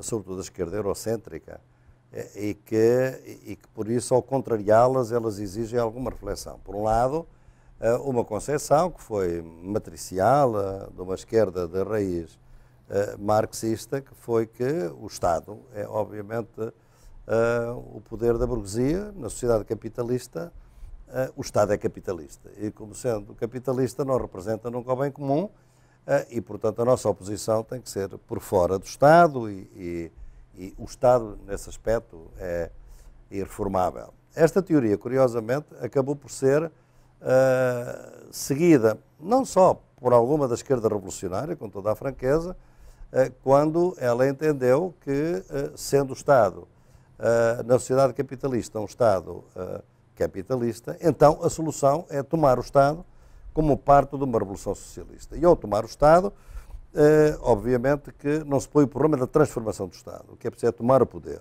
O que levou a, a que outra esquerda que, que tem tido alguma, alguma, não digo predominância, mas tem tido alguma visibilidade nas últimas décadas é que eh, era possível, eventualmente, eh, transformar o mundo sem tomar o poder. E, portanto, a luta devia ser feita na sociedade, no campo da disputa social e política, mas não incluir a tomada do Estado, porque o Estado, com essa lógica burocrática, ela é uma lógica que, além de ser burocrática, é monocultural, ela não respeita as diferenças, as diferenças culturais.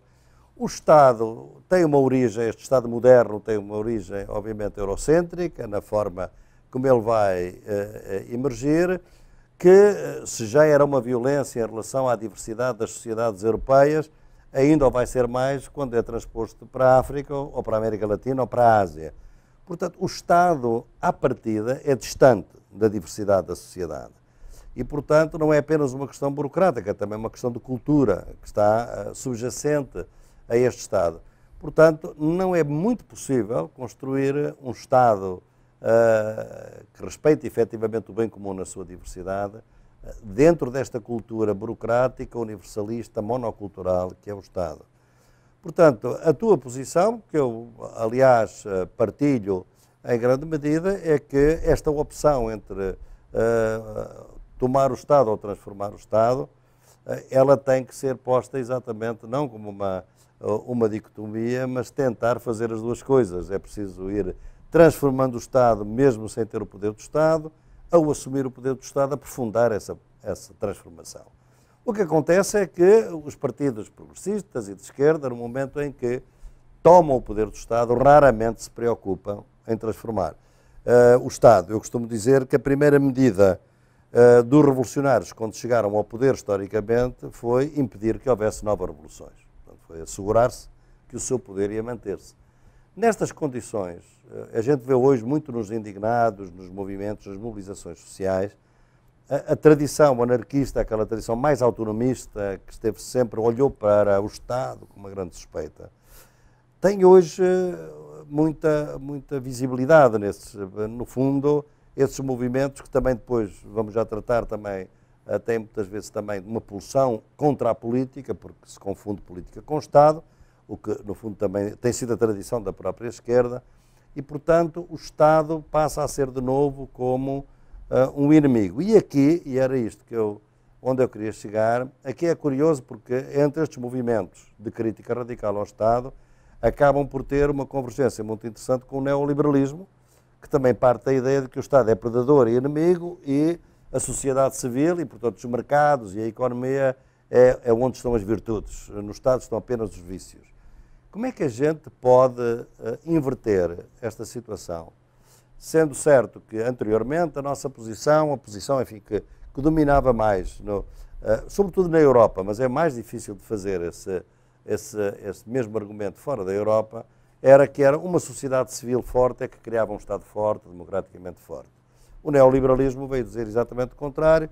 Para a sociedade civil ser forte é preciso que o Estado seja fraco.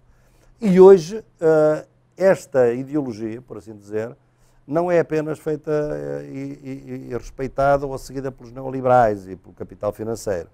Muita gente na rua, eh, muito jovem, para o qual o Estado hoje é fundamentalmente repressivo, como foi sempre para as classes populares em geral, eh, não olha muito para isto. É possível redignificar o Estado através de uma reforma profunda dessa cultura burocrática, monocultural e de raiz colonial, no fundo. Bem, é, é uma reflexão também bastante complexa né, e uma, uma questão analítica né, muito complexa, muito difícil essa. Né? Mas eu vou partir de dois princípios que é, me parece que a partir deles a gente pode informar e pelo menos clarear um pouco a discussão. É, dentro da crítica marxista do Estado, da crítica tradicional, né, é, nós temos uma, uma ponte né, que é feita pelo primeiro Lukács, não pelo segundo nem pelo terceiro, mas pelo primeiro Lukács, onde o Lukács dizia que o partido era a consciência proletária adjudicada. Então, o partido pegava a consciência proletária, né, que ele explorava teoricamente a partir de uma visão científica do desenvolvimento social e dizia: eu partido sou proletariado.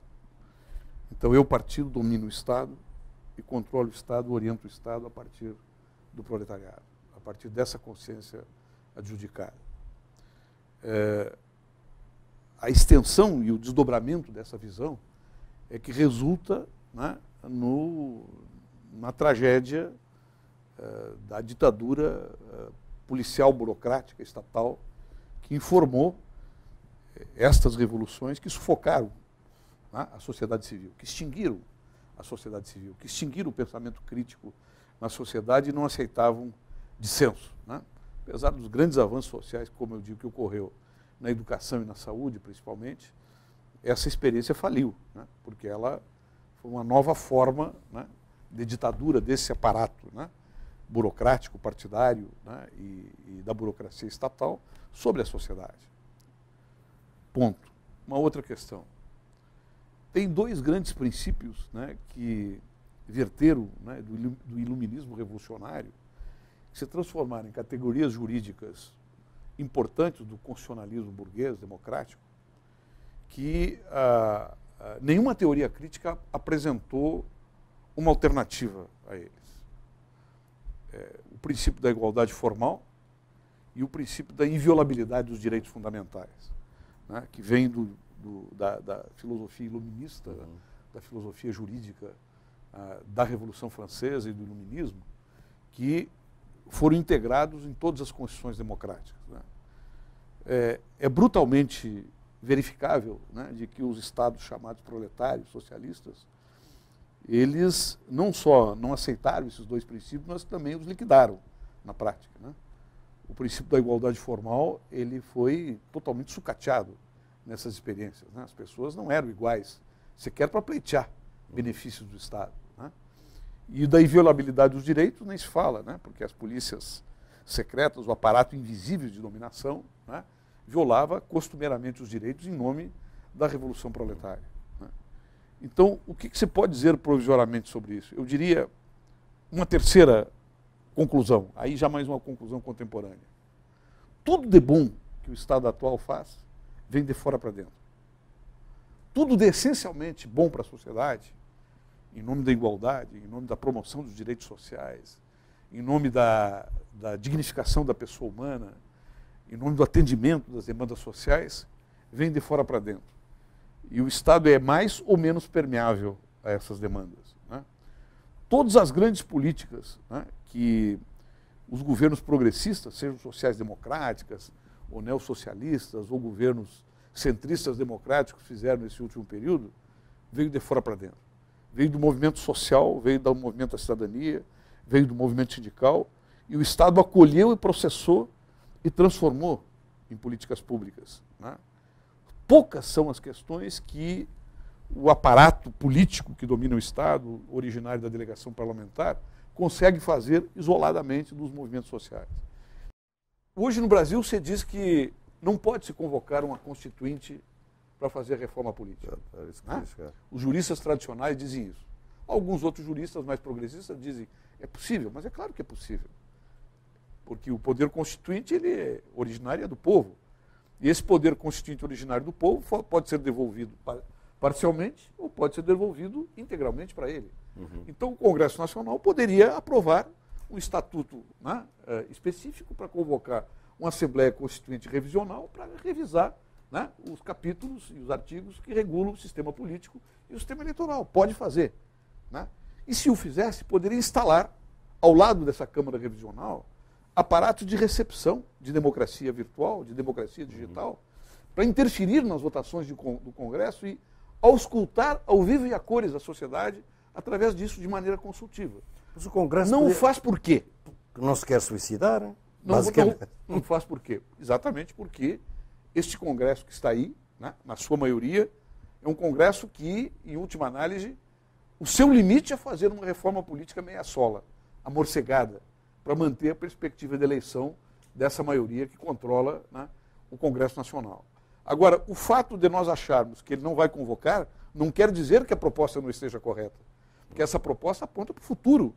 Porque se esse Congresso não fizer reformas profundas no sistema político, essas crises que apareceram agora vão aparecer lá adiante, daqui a dois, três anos, de maneira muito mais aguda e muito mais radicalizada. E eu diria, com razão, porque o aviso foi dado agora com esses movimentos que estão aí. Uhum. Né? Se os partidos não escutarem, se o Congresso não escutar, bem, ele vai ter que pagar um preço mais tarde. E quem sabe o preço será, sim, aí uma nova constituinte integral, né? uma nova Assembleia Constituinte né? que se devolva totalmente à população né? o, o direito de reconstitucionalizar o país em novas bases. Se a gente vir bem, uh, eu tenho também, e é uma das coisas que acho que a gente deve discutir, uh, é qual é o instrumento deste momento constituinte. Eu tenho realmente vindo a ver, e isso é observável na Primavera Árabe, nos vários países do Norte da África, é mesmo também aqui observável no sul da Europa, é observável no Brasil. nos Estados Unidos não se formou lá assim, porque a questão constituinte da Constituição põe-se de maneira distinta, digamos assim. Não tem tanta afirmação de uma refundação como nós, como se põe noutras tradições mais de, enfim, que vem do constitucionalismo europeu, continental, como acontece com, com, com, com a América Latina. a ideia é que este constitucionalismo, este, esta, este impulso constituinte, tem que ser originário porque se não for originário, ele fica cativo dos interesses que estão constituídos. E é por isso que, tanto no Equador como na Bolívia, obviamente que as, as, as constituições originárias foram resultado de uma situação de praticamente ruptura política que marginalizou o Congresso. Uh, o que foi feito com êxito total no caso do Equador não foi feito com êxito total na Bolívia, porque uh, a Constituição de Oruro, uh, que era a Constituição originária, acabou por ser aprovada pelo Congresso Nacional boliviano, e, ao, o qual introduziu muitas alterações à Constituição originária e que, em meu entender, descaracterizaram uh, de alguma maneira significativa a Constituição uh, uh, de 2009. Portanto, a questão do instrumento através do qual esta ideia de constitucionalismo transformador se põe é fundamental.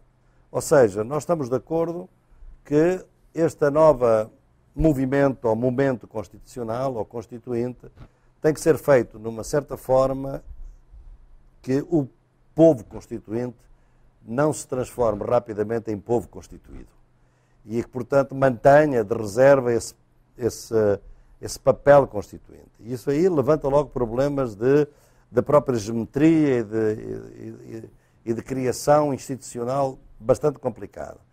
Em segundo lugar, é, é preciso ver se efetivamente nós vamos fazer, se esse constitucionalismo transformador, ele realmente está fora da tradição eurocêntrica, porque essa foi normalmente um constitucionalismo de elites, não foi um constitucionalismo popular.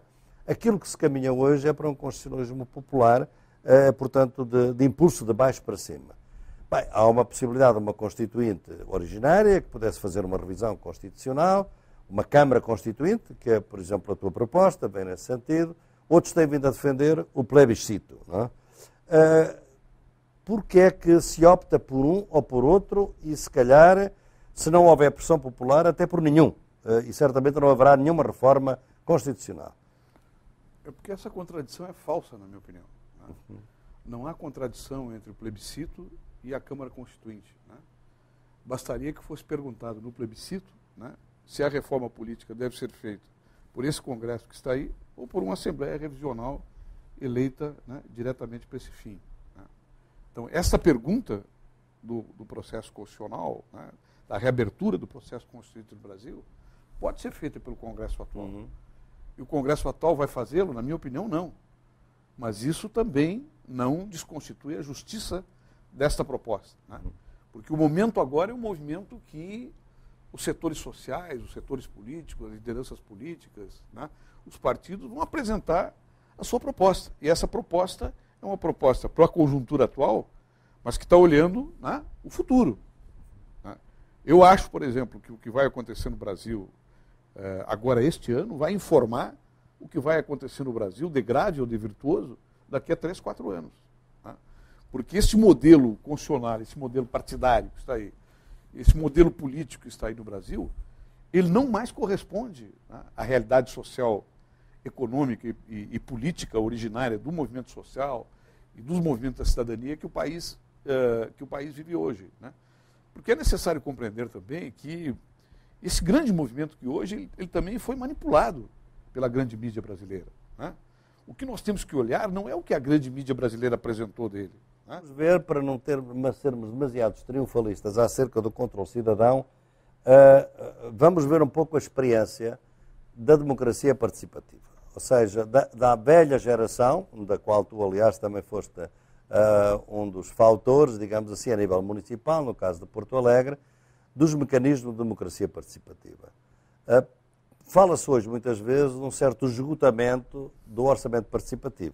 E a verdade é que, uh, quando nós olhamos para as camadas que passaram a vivenciar mais intensamente o orçamento participativo, o que é que nós vemos? Os jovens que estavam no início desertaram, hoje os conselheiros, os delegados, é tudo gente madura, não se renovou geracionalmente. Significa que o orçamento participativo, as estruturas de participação não atraíram os jovens. Algumas delas, quiçá, terão sido apropriadas, cooptadas pelo Estado. Os conselhos populares, por exemplo, é uma, é uma crítica que hoje se faz, os próprios conselhos populares de saúde, por exemplo, terão sido cooptados por lógicas governamentais, cooptação das lideranças, etc. Portanto, aqui foi um esquema que foi criado exatamente para evitar a corrupção, a democracia participativa, os orçamentos participativos, portanto, e aliás, a razão pela qual o Banco Mundial, a certa altura, se sentia tão atraído, até me lembro uma, de discussões nossas dos anos 90, quando o Banco Mundial começou, começou a mostrar curiosidade pelo orçamento participativo, era exatamente porque ele era um bom instrumento, segundo eles, Uh, já não tanto pelo viés democrático, com o qual elas estavam concretizadas, a, racionalizar, a racionalização e, exatamente, e a tecnocracia era uma, sugestão, era uma solução que tecnocraticamente resolvia a questão da corrupção. No entanto, também há um esgotamento dessas formas. Uh, voltar agora para, como tu tens vindo a dizer, de uma democracia direta por via da internet, ela é boa para auscultar as populações mas é ainda muito difícil de encontrar canais de deliberação por via da internet, não é? Era o grande problema do Rousseau, como é que a gente constrói uma democracia direta numa sociedade grande, uma sociedade pequena é fácil de fazer. Daí a desconfiança que ele tinha em relação às próprias organizações de interesses na sociedade, como ele bem refere no contrato social. Portanto, nós estamos aqui num impasse, quer dizer, os partidos que geram e que controlam e que de alguma maneira são a alma da democracia representativa, eh, estão numa crise profunda e só uma profunda revisão os pode salvar. E não somos assim tão otimistas acerca da possibilidade disso ocorrer. A democracia participativa também mostra uma certa exaustão. É preciso agora ver como é que ela se renova. E a democracia direta pode ser muito boa para auscultar uh, as opiniões, para canalizar a energia eh, da rebeldia dos cidadãos, mas para a formulação política, eventualmente, é muito mais difícil uh, de realizar. Portanto, a democracia está a entrar num beco sem saída. Isto podia ser uh, o caldo de cultura para respostas autoritárias. Portanto, eu acho que nós temos que caminhar com muita circunspecção, com muita análise sofisticada, para ver onde é que podemos intervir, se calhar a todos os níveis, da democracia representativa, direta e participativa, é assim como tenho orientado um pouco, sem descredibilizar nenhuma delas e procurando que as, os avanços em cada uma delas se repercutam nas outras. Não é assim tão fácil, e é tu, como político agora, que no Rio Grande do Sul procura de alguma maneira esta nova geração de políticas participativas, em que é que elas diferem da antiga geração, uh, que tu, aliás, também, de que tu foste, aliás, também um protagonista? Em que é que diferem? É, nós estamos trabalhando agora com uma concepção mais sistêmica da participação, entendendo que o orçamento participativo, principalmente em escala regional, ele é um dos elementos importantes do processo de participação, mas não é o único e nem pode ser considerado né, um sistema diretor dos demais, um sistema que é, é subordine todos os demais. E aí nós interpusemos um conjunto de estruturas de participação que ainda não estão devidamente articulados entre si de maneira definitiva. Quais são os instrumentos que nós propusemos nesse período? Primeiro, o Conselho de Desenvolvimento Econômico e Social, que é um espaço de busca de concertação para projetos de interesse público universal que podem ser imediatamente aplicados pelo governo. Um exemplo concreto um programa de irrigação que nós estamos fazendo no Rio Grande do Sul hoje, da micropropriedade até a grande propriedade, foi uma concertação que houve dentro do Conselho de Desenvolvimento Econômico e Social, que modelou ali uma política pública que não existe, aliás, em nenhum Estado, que é um banco público financiando, com recursos, inclusive subsidiados do Estado, um plano de irrigação universal, né? altamente qualificado e moderno. Então, este é um exemplo. O gabinete digital com a participação virtual, ou seja, um processo permanente de consultas temáticas, né, que se reporta à rede com perguntas. O governador pergunta ou o governador responde.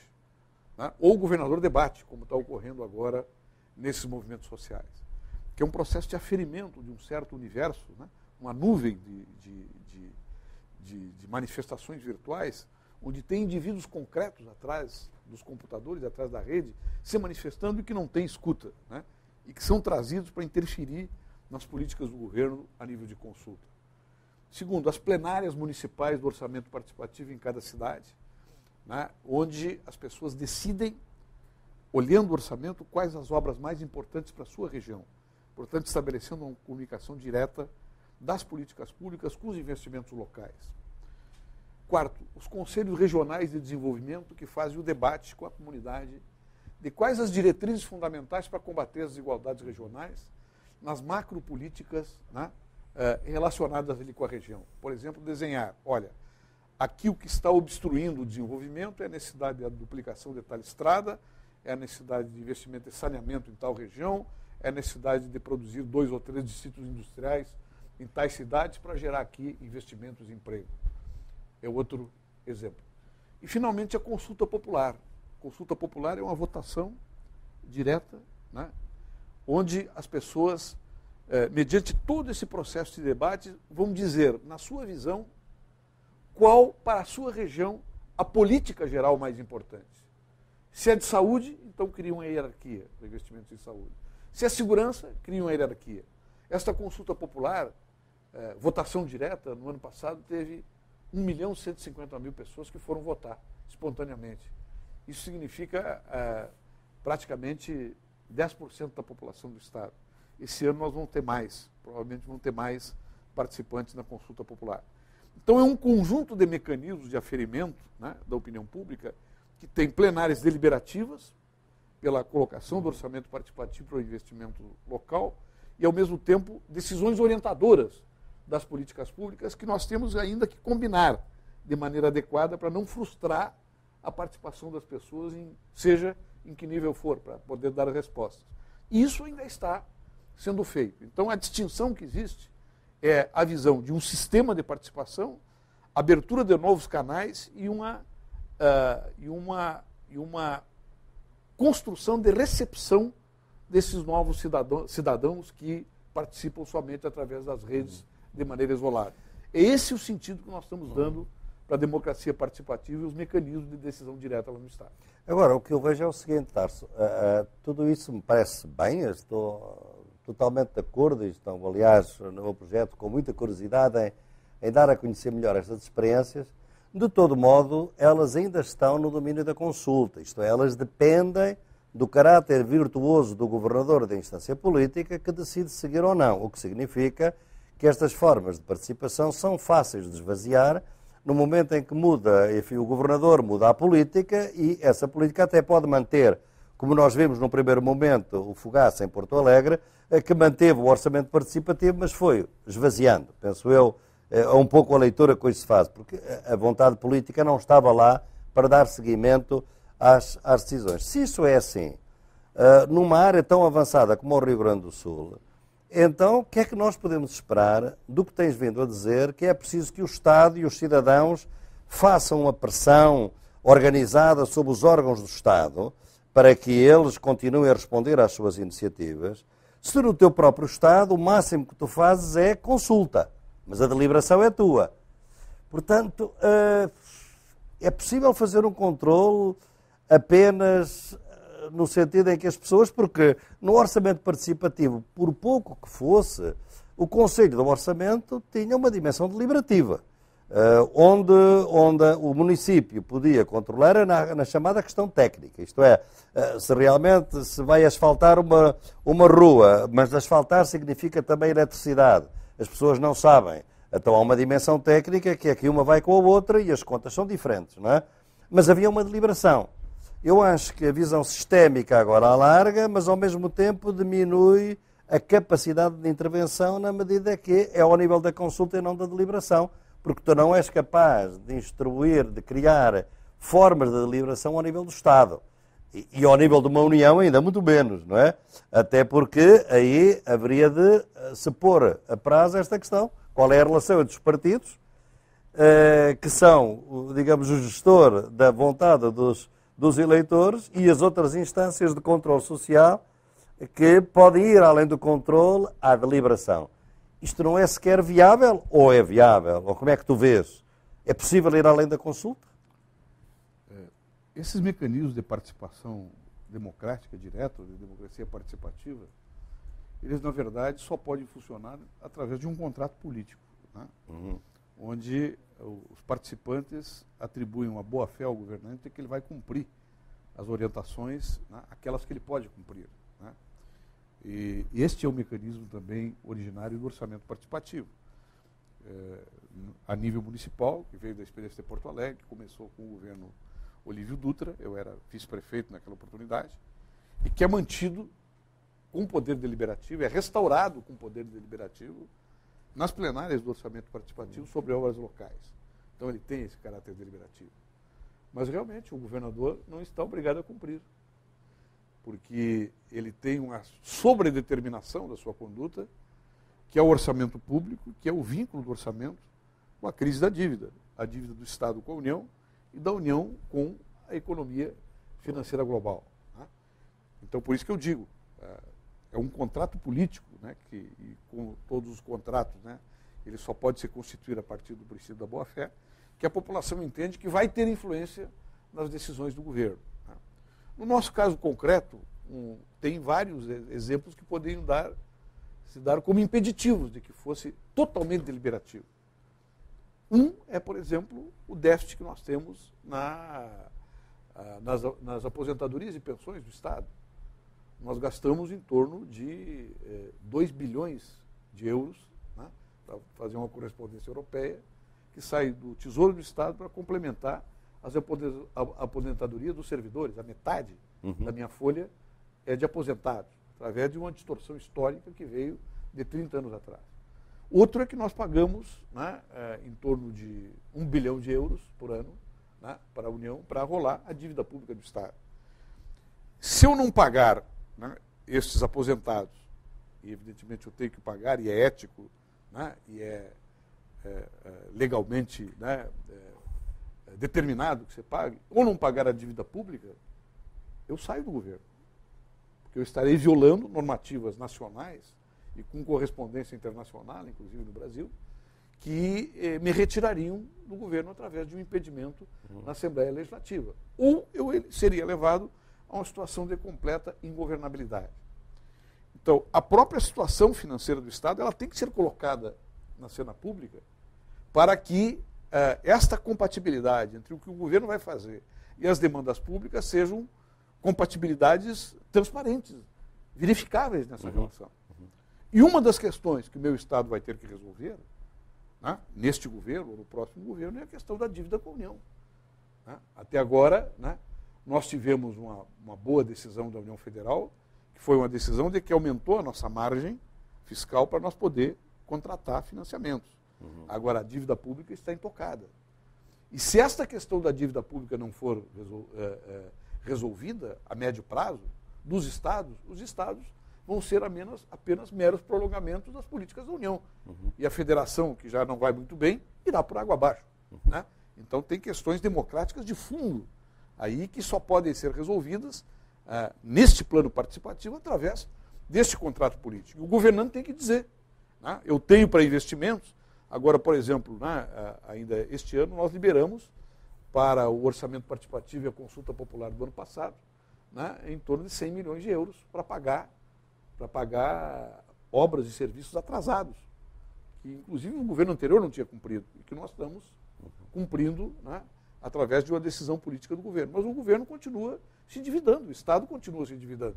Né? Então, é uma, a, a questão local e a questão regional, ela não será definida nem no terreno democrático, na questão democrática, e nem no terreno financeiro, e muito menos no terreno econômico, se não se, se, não se colocar um projeto nacional determinado. É verdade. Ah? Uhum. E esse projeto nacional determinado é que está sendo colocado hoje no seu limite. Uma outra questão é exatamente a questão da reforma do Estado. Quer dizer, nós há, muito tempo que temos vindo a falar da necessidade da reforma do Estado. Eu há bocado falava do Estado Novo, uh, novíssimo movimento social, uh, para mostrar que a esquerda não, não devia de maneira nenhuma desistir da transformação do poder do Estado, ao contrário, devia nem se aliar completamente do Estado, daqueles que pensam que é mudar o mundo sem transformar, sem tomar o poder, uh, e também daqueles que querem tomar o poder e depois uh, alguma coisa há de, há de acontecer. Entre essas duas posições que vimos. E uma delas era a reforma uh, que tinha a ver com o aprofundamento do Estado de Providência, do Estado Social.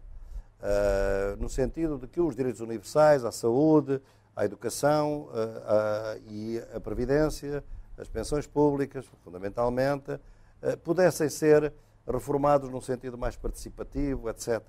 E essa era uma discussão, precisamente porque muitas destas medidas obrigaram, destruíram a diversidade da, sociedade, não respeitaram as diferenças étnico-culturais que existiam na sociedade. A Europa hoje é, muito, é intercultural e, portanto, tem que respeitar também a interculturalidade dos países. Obviamente, da América Latina, muito mais ainda, ao ponto de alguns hoje se declararem como uh, países plurinacionais, o caso do Equador e o caso da Bolívia, interculturais, o caso da Colômbia. O Brasil um pouco mais tímido na concessão dos direitos culturais, mas de todo modo também com alguma expressão uh, nesse sentido. E, portanto, era uma reforma uh, progressista, era aquela que também temos vindo a falar agora no contexto da crise no Brasil. De repente, em Portugal e noutros países fala-se de reforma do Estado, mas não tem nada este sentido. É exatamente o oposto disto. Não se trata de reinventar, fortalecer, aprofundar as políticas de educação, de saúde e de previdência, mas ao contrário, desmantelá-las através da privatização, eh, da desregulação eh, e, portanto, pela perda de direitos universais e a submissão, naturalmente, das camadas mais vulneráveis à filantropia e ao assistencialismo, aquilo que eu tenho chamado o, fascismo social. Portanto, caminhando para eh, uma situação em que as sociedades são politicamente democráticas, mas socialmente fascistas, na medida em que a sorte, a qualidade de vida, as expectativas mínimas dos trabalhadores ou dos desempregados dependem, no fundo, eh, enfim, da complacência, da filantropia, da caridade dos outros que estão melhor na sociedade e nunca, e nunca depende, digamos assim, dos direitos de cidadania. Como é que tu vês o Brasil, que não passa propriamente por esta retração fundamental que estamos a assistir neste momento na Europa, já passou também uma onda neoliberal de outro recorte nos períodos anteriores ao Presidente Lula. como é que tu vês, como é que nós, à esquerda, poderemos manter uma agenda de uma reforma do Estado, sobretudo nos, nestas três políticas, uh, sem ser o defensismo uh, do que já estava uh, e, e, e, também, de modo nenhum, sem podermos pactuar com o desmantelamento das políticas sociais que a direita quer. Como é que tu vês hoje a nossa posição? Qual é a posição que um pensamento de esquerda esclarecido neste contexto internacional deve tomar?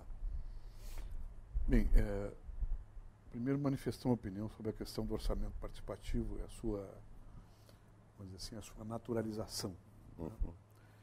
É, porque a partir daí eu vou desenvolver um raciocínio sobre essa questão que tu colocaste né, da reforma do Estado. É, esses mecanismos de participação direta, como orçamento participativo, eles são perfeitamente assimiláveis dentro do capitalismo, né? desde que eles não atrapalhem o cálculo econômico geral né, do sistema e não atrapalhem a dependência do sistema em relação ao sistema financeiro mundial. Ou seja, continua me pagando os juros do serviço direitinho e podem brincar de participação direta que não tem nenhum problema. É, e esse processo de assimilação que houve pelas instituições internacionais, é, na minha opinião, é um, uma vitória do orçamento participativo. É um sinal de legitimação da participação direta, embora, em grande parte dos casos, ele tenha sido domesticado e adaptado às necessidades do, dos governos conservadores locais. Mas essa janela está aberta. E essa janela ela é importante. Mas tem um outro aspecto também, vamos dizer assim, na naturalização desse processo, que é a própria reprodução no âmbito do movimento social dos mesmos vícios e dos mesmos problemas da política tradicional. o sistema de participação popular gera também no movimento social uma elite determinada, que vai também paulatinamente se apropriando da participação e da representação. Essa apropriação da participação e da representação nos conselhos, ela traduz né, uma espécie de, é, de substituição da democracia direta por neo-representantes, que depois são capturados pelos partidos, inclusive de esquerda, para serem seus candidatos a vereadores, candidatos a deputado ou cabos eleitorais. Então eu diria que é uma essa deformação é uma fatalidade do próprio processo democrático e por isso que é possível e necessário reinventar permanentemente a participação e agregar novas formas de participação plurais né, que possam servir de contrapeso a esse sistema. Né? É um sistema de pesos e contrapesos que não permita que nenhuma forma de participação seja absoluta, porque ah, ah, não é novidade para ninguém que a ideologia da política tradicional ela também funciona no movimento social. Né? E ela também interfere ideologicamente nos, nos conceitos que dirigem as pessoas para participar. E até para criar novas lideranças que têm, né, passam a ter uma representação política e daí partem para a participação política parlamentar, ou passam a participar de assessorias de gabinetes de deputados, de vereadores e assim por diante. Isso é uma realidade, mas não é uma, uma questão que comprometa o sistema de participação, se nós pensarmos com uma visão sistêmica determinada. Que a, a ideia de socialismo é uma ideia construída artificialmente pela cultura e pelo humanismo. Né? E, portanto, vai contra a espontaneidade do desenvolvimento capitalista. Né? Não há caminho para o socialismo traçado pela economia capitalista. É isso que eu quero dizer. Né? Essa é a síntese. E é a mesma coisa em relação a políticas públicas. Eu acho que, que hoje, né, o que se pode dar como opinião para a esquerda que está no governo é o seguinte: né, você tem que se relegitimar todos os dias. E você tem que criar instrumentos, instituições artificiais moldadas pela tua mente política na relação com o movimento social, com o movimento de massas, que permitam que esta pulsão, né, que esta energia política que vem do movimento social, que vem da base da sociedade, que vem da ansiedade dos trabalhadores, dos produtores, das suas vontades, dos seus programas, das suas necessidades, inclusive corporativas, né, criem canais de interferência sobre o Estado que permitam que as políticas que você realiza elas sejam políticas relegitimadoras do seu mandato. Uhum. Ou seja, a representação política que dá legitimidade ao governante, ela termina no outro dia da posse. E o governante que não compreender isso, que ele tem que se relegitimar todos os dias, criando instituições né, que permitam que, que a sociedade civil, né, que os atores populares da sociedade civil interfiram no Estado e gerem respostas do Estado, esse governante não vai ter sucesso. Né? Porque, assim como o socialismo é uma construção artificial, né, intelectual e humanista, né, as boas políticas públicas também são uma construção artificial. Porque a naturalidade do Estado leva né, para a desigualdade e para a exclusão. Mas se isso é assim, uh, tu estás a fazer do, do, do político de esquerda ou político progressista um herói que tem que lutar contra a sua própria consciência, porque a sua consciência naturalmente o leva a fazer o contrário disto. Eu digo isto no seguinte contexto. Eu recentemente tive uma, uma discussão, até há quase a uma hora da manhã, com jovens aqui uh, de Lisboa, ali no Largo de São Domingos, onde, onde os, os judeus, uh, em séculos atrás, eram vítimas da, dos altos da fé. No meio de sem-abrigo, uh, eram jovens que têm estado na, na acampada do Rocio, e estivemos ali a discutir, o tema que me tinham proposto para discutir é porque é que não nos revoltamos. Uh, e, e, alguns diziam, nós até nos revoltamos. A gente vai ao Parlamento todos os dias. O que acontece é que eles não nos ouvem. Eu respondi, bem, uma de duas, uma, olha, compramos um aparelho para eles ouvirem melhor, um aparelho para os ouvidos, ou então berremos mais alto, porque se não ouviram. Portanto, essa ideia de que os políticos progressistas vão ter essa consciência diária, não sendo natural, alguém tem que pôr no caminho. Quem é que põe no caminho? É a mobilização social. Ou seja, a democracia daqui para o futuro vai ter que ser construída basicamente nas ruas, ou a partir das ruas, ou não será assim? É, eu não diria que se trata de herói, eu entendi bem o que tu quer dizer. É, o que se trata, na verdade, é uma vitória da consciência sobre a objetividade do mandato. A objetividade do mandato está circunscrita às regras de funcionamento do Estado. Né? E a representação que o Poder Executivo recebe, ou o Parlamento recebe, é para ser jogada dentro daquelas regras. Né? O fato é que essas regras não são regras, eu diria, férreas, né? que limitam o político a uma mera contemplação delas. O político consciente, quer dizer, uma vitória da consciência sobre essa objetividade, diz o seguinte: né? aqui você tem canais para me tornar forte para que eu possa responder a vocês. Então, nesse sentido, sim, a democracia só pode avançar com o que vem de fora para dentro. Uhum. O que retoma né, exatamente aquela visão que eu coloquei na nossa conversa anterior, que tudo de bom que acontece no Estado vem de fora para dentro. Uhum. Né, e que, onde assim, o político, ou o grupo político, ou, ou o programa que responde, só pode se alimentar e só pode ter efetividade se ele é impulsionado de fora. Porque de dentro ele é desmontado, de dentro ele é burocratizado, de dentro ele é sacrificado, de dentro ele é mediado por infinitas burocracias né, que não permitam, que não permitem que ele se realize.